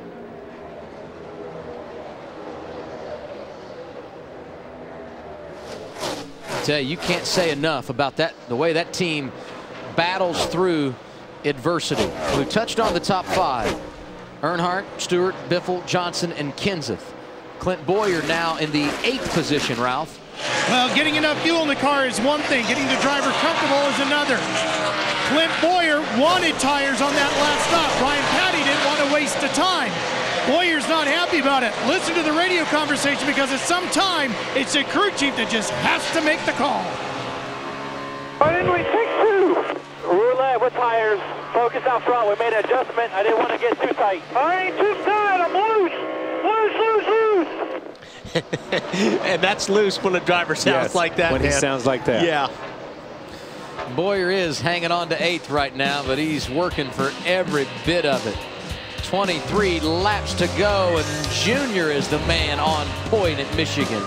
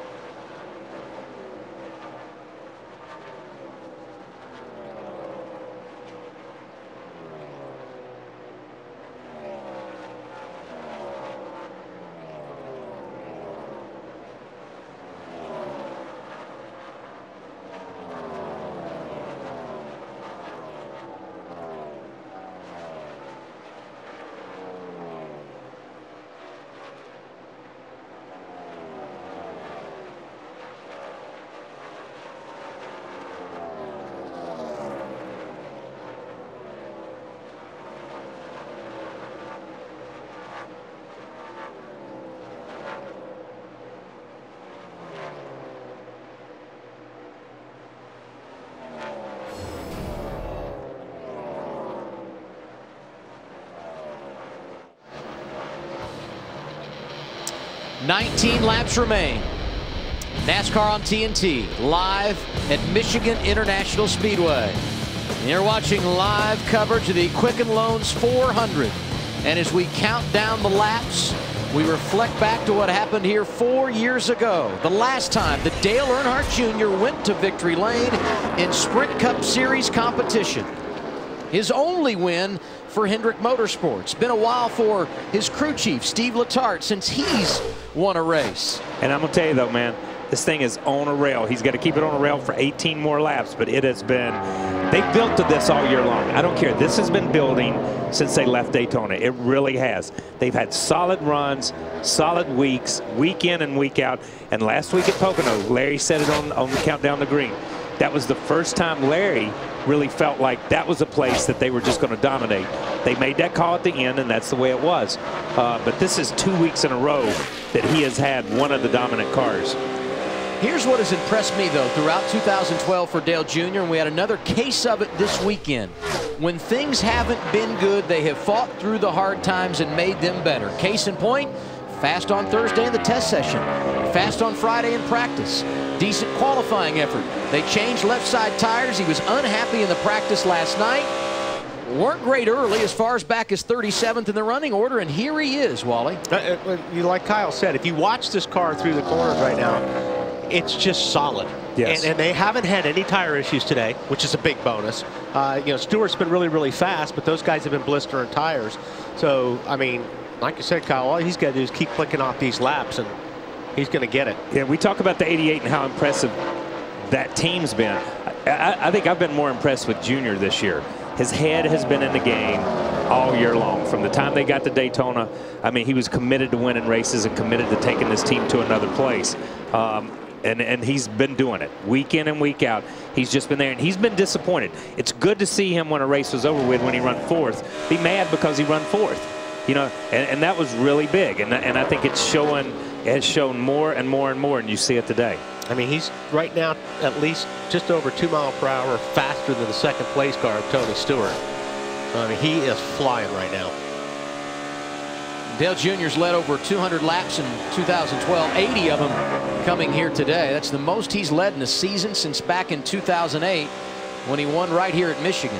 And you can hear when he rolls Yes. out of the throttle, he gets right back in that throttle, nice and smooth. You don't hear him floating the throttle like we've heard No. other guys earlier today. That's when you know a race car's working. Just listen to that throttle and how he's working it. Yeah, we heard Biffle earlier. You listen right here. He rolls out. Right back to it. He's wide open right here. Yeah. And, and, and that car is sticking, and he's just driving. And then, you know, we heard Biffle earlier go to it, come off of it, go to it, come off of it early in the race. But as this racetrack has changed, and, and they've kept up, Stevie Letarte has done a great job of keeping up with the adjustments. We saw him heard and was documented. They put the rubber in the left rear early in the race. And when they put that rubber in the left rear, this car came to life. And it's been just right there, rock steady ever since, while other guys have come and gone. 13 laps to go. And his advantage over Tony Stewart, 4.6 seconds. He's not just leading, he is absolutely pulling away from the runner-up smoke. Jimmie Johnson, the next guy in line in the third position. Matt Kenseth and Greg Biffle, the two drivers out of the Roush Fenway organization, complete the top five. Montoya and Ambrose have spent a lot of time inside the top 10 today. They've got the final two spots there right now. Ambrose in the 10th position, and you see Montoya right in front of him in ninth.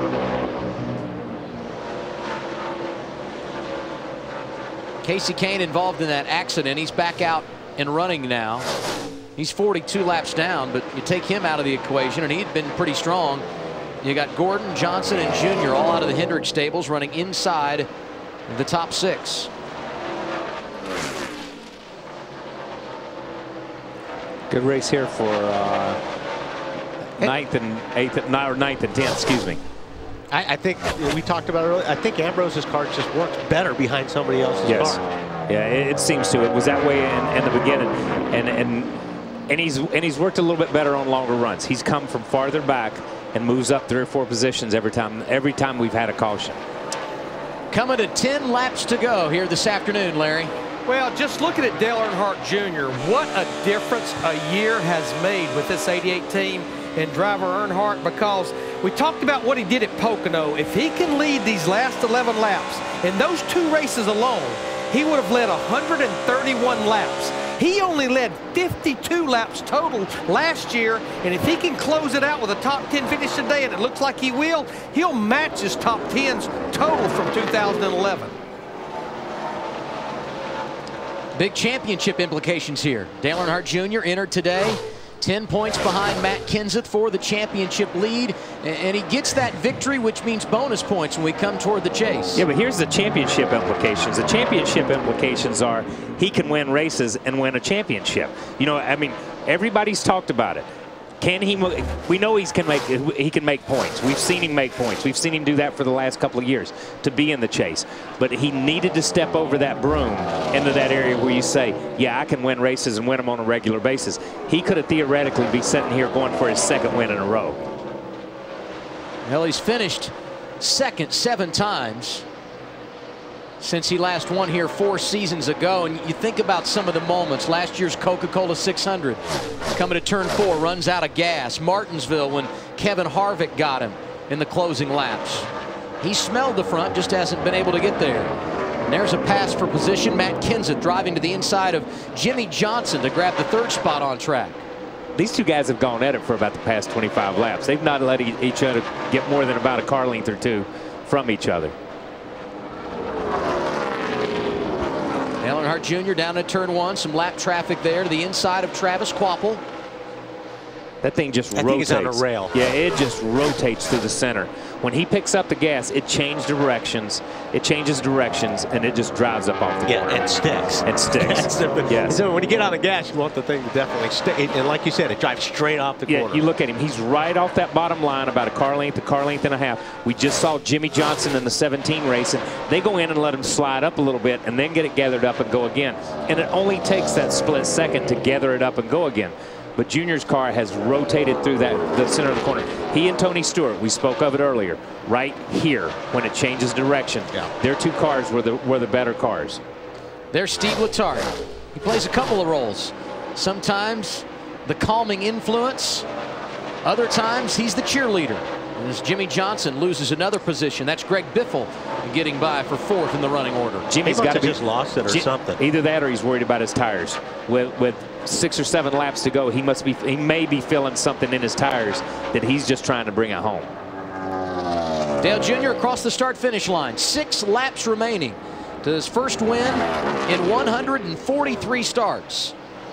And when you think about Dale Earnhardt Jr. and what he's meant to the sport over the years, today his 450th start in NASCAR's top series. He's been around a good while.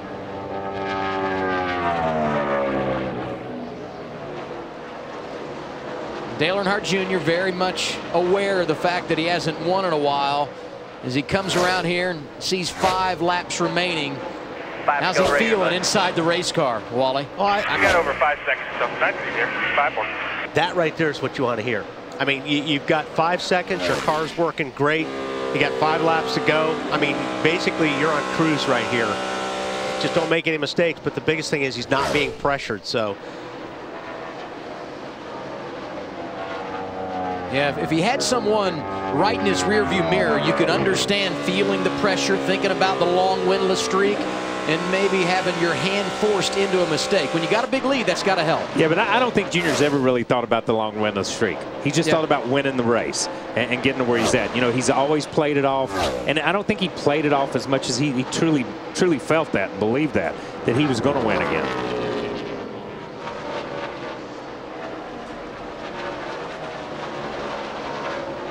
Junior off a turn two and down the back straightaway. When he comes around this time, it will be three laps remaining. I know what he doesn't want to see is a caution right now. Yeah, now. absolutely. I was just looking to see where Jimmie Johnson was to see if he was having an issue, but he's kind of fell in to a pretty good rhythm, and Jimmie's trying to stay ahead of the 24 car of Jeff Gordon. But he's way off the pace he's Way off. running. He's running. Last lap was 184. Two, three laps ago, he's running 188. Now Jimmie Johnson changed engines, came from the back to the fifth position. Ryan Newman did the same. He's one lap down in 17th. And Carl Edwards, who had to start at the rear of the field after qualifying problems yesterday, finds himself 11th in the latter stages. I hate they paved Michigan, to be honest with you.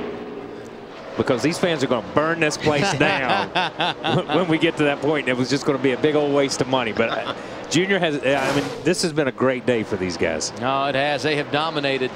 This will be the 93rd lap he has led as we get two to go in the Quicken Loans 400. You're on board with Dale Earnhardt Jr.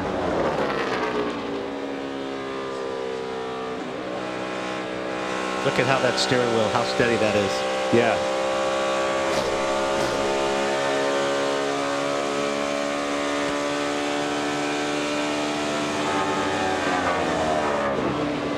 Coming to the white, he just needs to get back to this. And then it won't matter if we get a caution because the green-white checker situation will be out the window once Dale Earnhardt Jr. gets the white flag. And he sees it right now. There you go, buddy. White flag. Bring her home one more time for me, please. Two more miles to victory for Dale Earnhardt Jr. as the crowd stands and cheers here at Michigan. Oh my God! I, I wish people at home could be here to see these people in the grandstands and to hear them. We're up here in the TV TV booth, and you can hear these people. Junior down the back straightaway and into turn three for the final time. There is going to be a party in Junior Nation tonight. Three by win is one. Hell yeah. The streak is over. Dale Earnhardt Jr. back to victory lane in Michigan. Good help, Joe. Thanks. Say.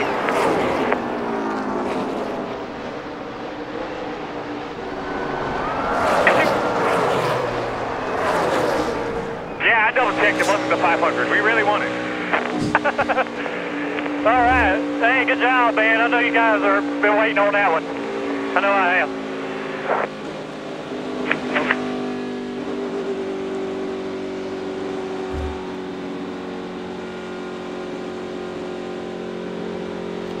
See that monkey fly off his back when he took the checker Gone. flag? You, you know, but I, I think his voice said it all when he said, I really don't know what to say. After all that time, listen to the crowd. After all that time, he expected it. And, and I think that said it all. He hadn't been able to celebrate in a while. He's going to make this one last. Burn it down, Dale Jr. After 143 races without a win, he's making the donuts on the front straightaway.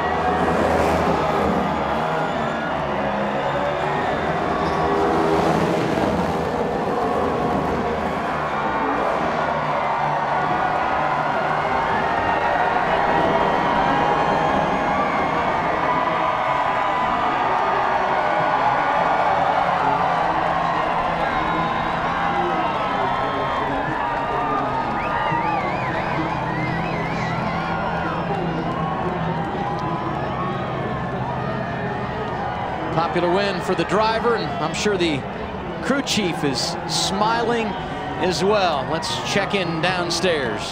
Well, Adam, there's hugs, there's tears down here and everything. And uh, Stevie, a lot of big wins in your career. Where does this one rank among them? Uh, this one's up there a long ways. Uh, I just want to thank everyone involved, Diet Mountain Dew, Chevrolet National Guard. We couldn't do it without them, but uh, you know, HMS, Dale Jr., he drove a great race, and this crew, it's been a long time since they've won. They really deserve it. I know it's hard not to be emotional. When you think about the emotion, is it all the work that went into it that makes you emotional? Uh, yeah, a lot of close calls, a lot of seconds. Good to finally win one.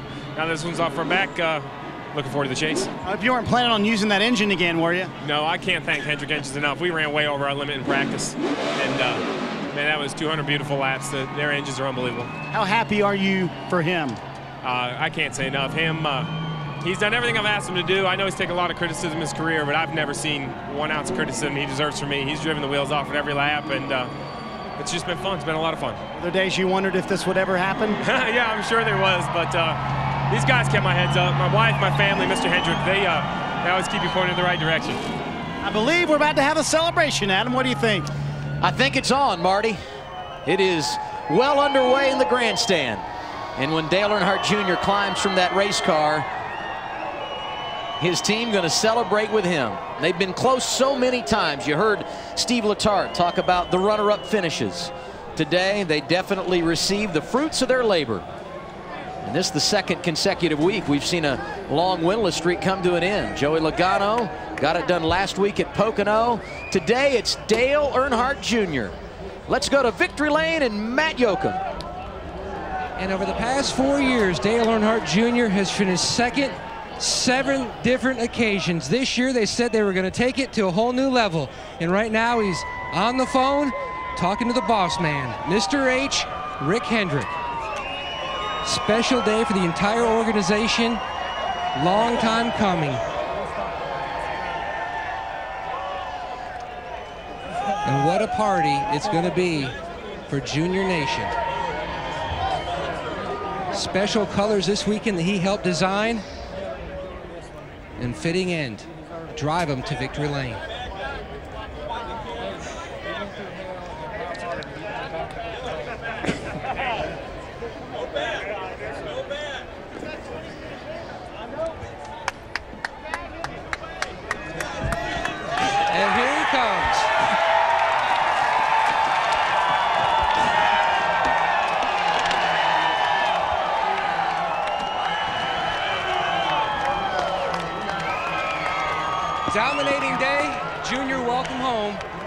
Victory Lane. What the boss, Mr. H, have to say? Oh, he's just upset he couldn't be here. Um, that's a great race. I want to thank my sponsors, National Guard, Diet Mountain Dew. Uh, great to have the Batman on the car today. Uh, we just had a really good car, and uh, Chevrolet was real fast. Just uh, pretty amazing. I was those are last those last 15 laps are the longest laps ever, and uh, I don't know what to think about it just yet. You know what I mean? Junior, it's been four years. Your fans have stuck behind you. This guy right here, Steve Lahart, Steve Letarte, stuck behind you.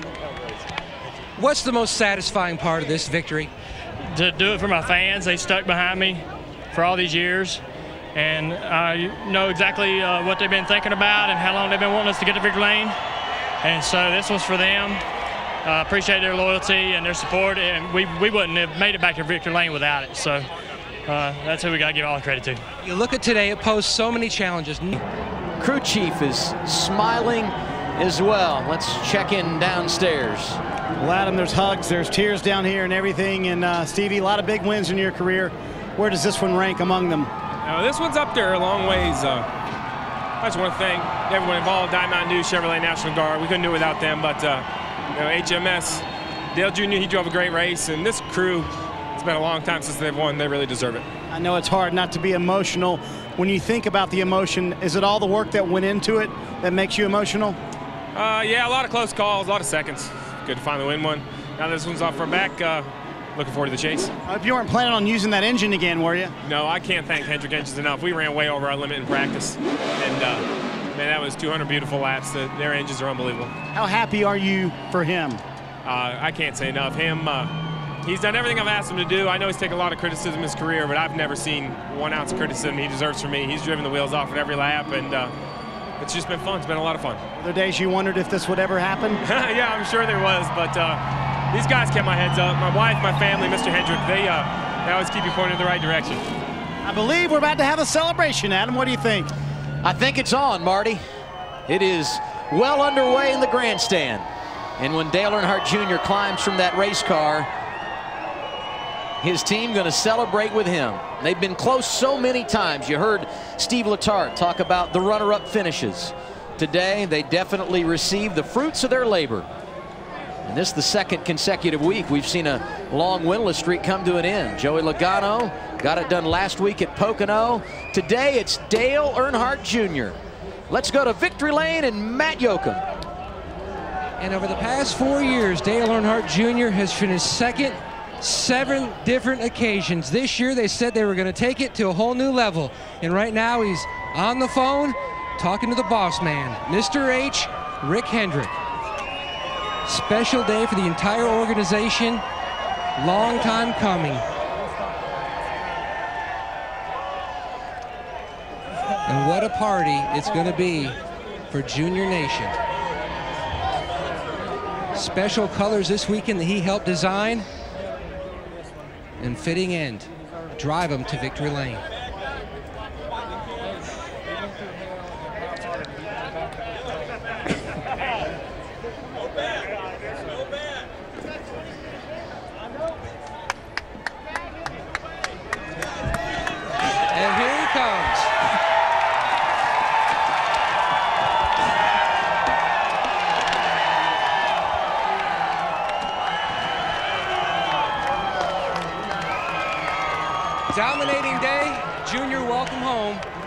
Victory Lane. What the boss, Mr. H, have to say? Oh, he's just upset he couldn't be here. Um, that's a great race. I want to thank my sponsors, National Guard, Diet Mountain Dew. Uh, great to have the Batman on the car today. Uh, we just had a really good car, and uh, Chevrolet was real fast. Just uh, pretty amazing. I, I was those are last those last 15 laps are the longest laps ever, and uh, I don't know what to think about it just yet. You know what I mean? Junior, it's been four years. Your fans have stuck behind you. This guy right here, Steve Lahart, Steve Letarte, stuck behind you. What's the most satisfying part of this victory? to do it for my fans. They stuck behind me for all these years, and I know exactly uh, what they've been thinking about and how long they've been wanting us to get to victory lane. And so this was for them. I uh, appreciate their loyalty and their support, and we, we wouldn't have made it back to victory lane without it. So uh, that's who we got to give all the credit to. You look at today, it posed so many challenges. New track surface, the tire change, the weather itself. What was the biggest difference? Was it the change that Stevie made on the second stop with the spring rubber? Yeah, we changed. Well, yeah, we.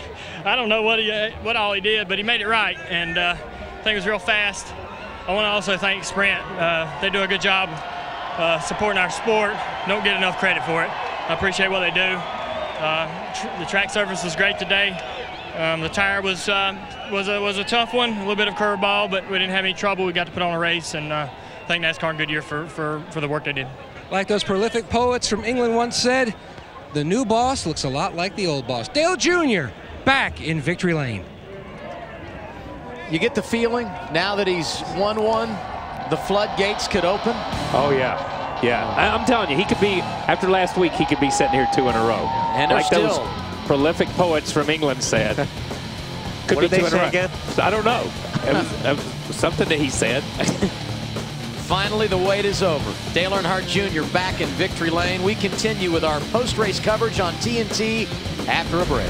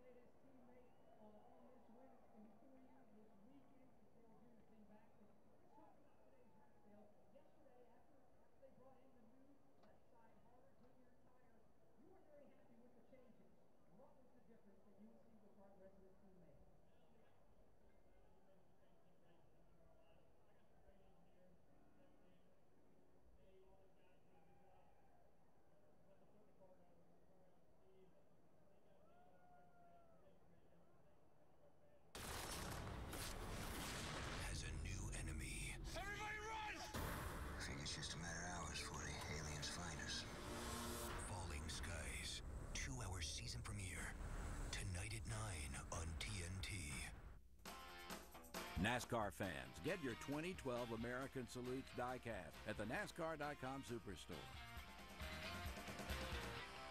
I've worked hard to build my family and also to build my career. So I'm not about to always.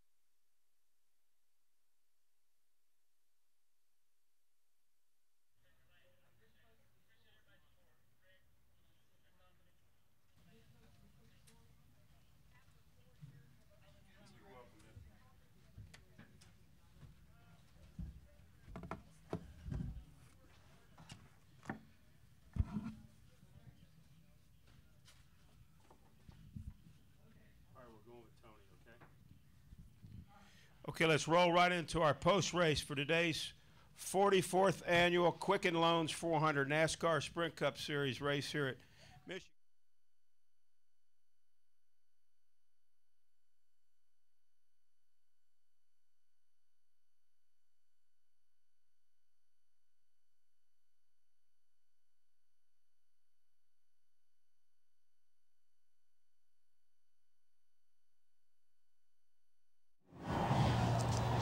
Welcome back to the NASCAR on TNT post-race show. Reminder coming up at 6.30 here on TNT at Sherlock Holmes.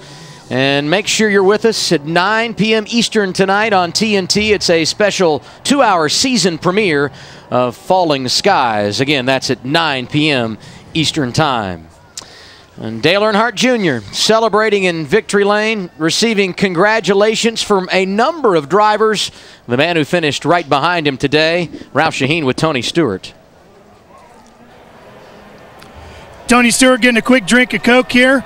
Boy, from where you guys were yesterday, working to get the car to second here today was a monumental effort. Tell me about that run. Yeah, it really was. I mean, we we were 27th quick on the sheet yesterday, so uh, you know we had a lot of curveballs thrown our way. But I was really proud of Steve Addington and these guys. It's uh, I mean, it's amazing what one night uh, and those guys thinking what what they came up with. It just um, was a totally different race car today. I'm really proud of them. Well, Matt Kenseth made a nice run there at the end. You got around Johnson. You almost got to Stewart. How close were you to getting around him? I just couldn't quite get around him. He was tight, so he was running low, so I couldn't get any air underneath him, and uh, I was too loose to run down lower on that less banking and too tight to run behind him. So, uh, but it was a good day for the 17 car. We were able to work our way back up through traffic and, and finish third. And uh, congratulations, Dale Jr. They've just been running awesome this year, and uh, nice to see him stand over there in victory lane. Congratulations on a nice top five. Thanks. Well, Jeff Gordon finishes sixth today, and Jeff, that middle part of the race, you looked so strong, and there weren't tire issues with the 24. I just looked at the right rear corner, and you got some blisters. I knew something happened there in that last run. Uh, we took off there, and it was really good, and boy, it just went away fast. Got really, really loose. So yeah, that's unfortunate. Um, man, what a great day for Hendrick Motorsports and Junior and Stevie and all those guys on, on that 88 team. So proud of them. Proud of my guys too. I mean, we, we fought hard to come from 28th. It was not easy, and uh, you know we uh, we had a really good race car today. So happy Father's Day. I know uh, to Rick especially. Happy Father's Day to you, Rick. I know that was a great uh, Father's Day gift, and uh, you know I'm just glad we had a solid day as well, something to build on. Greg Biffle, you had a fast race car today. Why couldn't you get it to the front? Yeah, I just couldn't use the pedal on the right. You know, I couldn't use any more gas. We were chunking right rears. And, uh, you know, I had my car a little bit too free, I guess. And, uh, you know, I could run fast lap times, but the right rear would come apart. So I just had to pace myself, um, kind of like I had to do at Indy a few years back. You know, just I couldn't drive it any harder than, you know, so hard. But I want to say happy Father's Day to all the fathers out there, including mine. And, you know, I'm very excited for Junior. What a great day for him to win on. There's been a lot of pressure on him, and uh, he's a great driver. I'm so glad he won. Persistence paid off for Greg, though. He gets a fourth. That's good points. Well, Jimmie Johnson hangs on, and I mean hangs on for a fifth place finish today. Man, that looked like a, a rough ride on that last run. Yeah, we were coming. We were really flying, and then I blistered the right rear again and had to uh, just hang on and let some guys go. Um, and then I ran out of fuel going into turn three and coasted around and made it to the finish line. So, you know, just a, a, a tough day, but a good finish. So we'll take that. And I just couldn't be more happy for my teammate. Um, Junior's been chipping away at it, and it's been so close to victory. Um, and I'm real happy for him and for Stevie. And, and what we have going on at Hendrick Motorsports, especially inside the 4888 shop, is really special. And I couldn't be more proud of everybody involved. Yeah, we're doing the interview from Victory Lane because you bolted straight over here to say congratulations. Yeah, I had to get over here quick. Um, this is uh, I know how much, I know how hard he's been working on this, how bad he's wanted it, and how good this is going to make him feel, and um, the confidence it's going to give he and that race team for uh, the rest of the year and for time to come. So, just super stoked for him. Considering all he went through, I would say fifth. Not bad for Jimmie Johnson. Jimmie Johnson in the top five, but it's his teammate, Dale Earnhardt Jr., who gets the trophy. 19th win of Dale Jr.'s career in the NASCAR Sprint Cup Series. So, what did that do to the driver standings? Kenseth is still on top, but Dale Jr. cut six points out of his lead. He's four behind with 15 races complete. Greg Biffle stayed third. Jimmie Johnson, Denny Hamlin complete the top five. Tony Stewart, solid day, 74 points out of the lead, back in eighth. Brad Keselowski stayed in the top 10. Now the wild card picture. Carl Edwards still 11th, two behind the top 10. Kyle Busch has wild card position number one. Ryan Newman, the second wild card spot. Joey Logano, Casey Kahne, 15th and 16th, respectively. Both drivers have a win in 2012 and certainly a part of the wild card equation. It's been a long day for all of us here at NASCAR on TNT. Special thanks to our producer, Jeff Randolph, our director, Mike Wells, for Larry McReynolds, Kyle Petty, and Wally Dallenbach. I'm Adam Alexander. Next Sunday, NASCAR on TNT heads out west to Sonoma. Coverage begins at 2 p.m. Eastern Time with Countdown to Green, followed by the Toyota Save Mart 350. Tonight at 9 p.m. on TNT, it's the two-hour season premiere of Falling Skies. Coming up next at 6:30 on TNT, it's Sherlock Holmes. Head over to NASCAR.com now for the NASCAR on TNT post-race show. Congratulations to Dale Earnhardt Jr. He's a winner again in the Sprint Cup Series. This copyrighted telecast may not be reproduced, retransmitted, or used in any form without the authorized written consent of NASCAR Broadcasting. NASCAR would like to thank all of our loyal fans for your continued support, and we hope you enjoyed today's broadcast.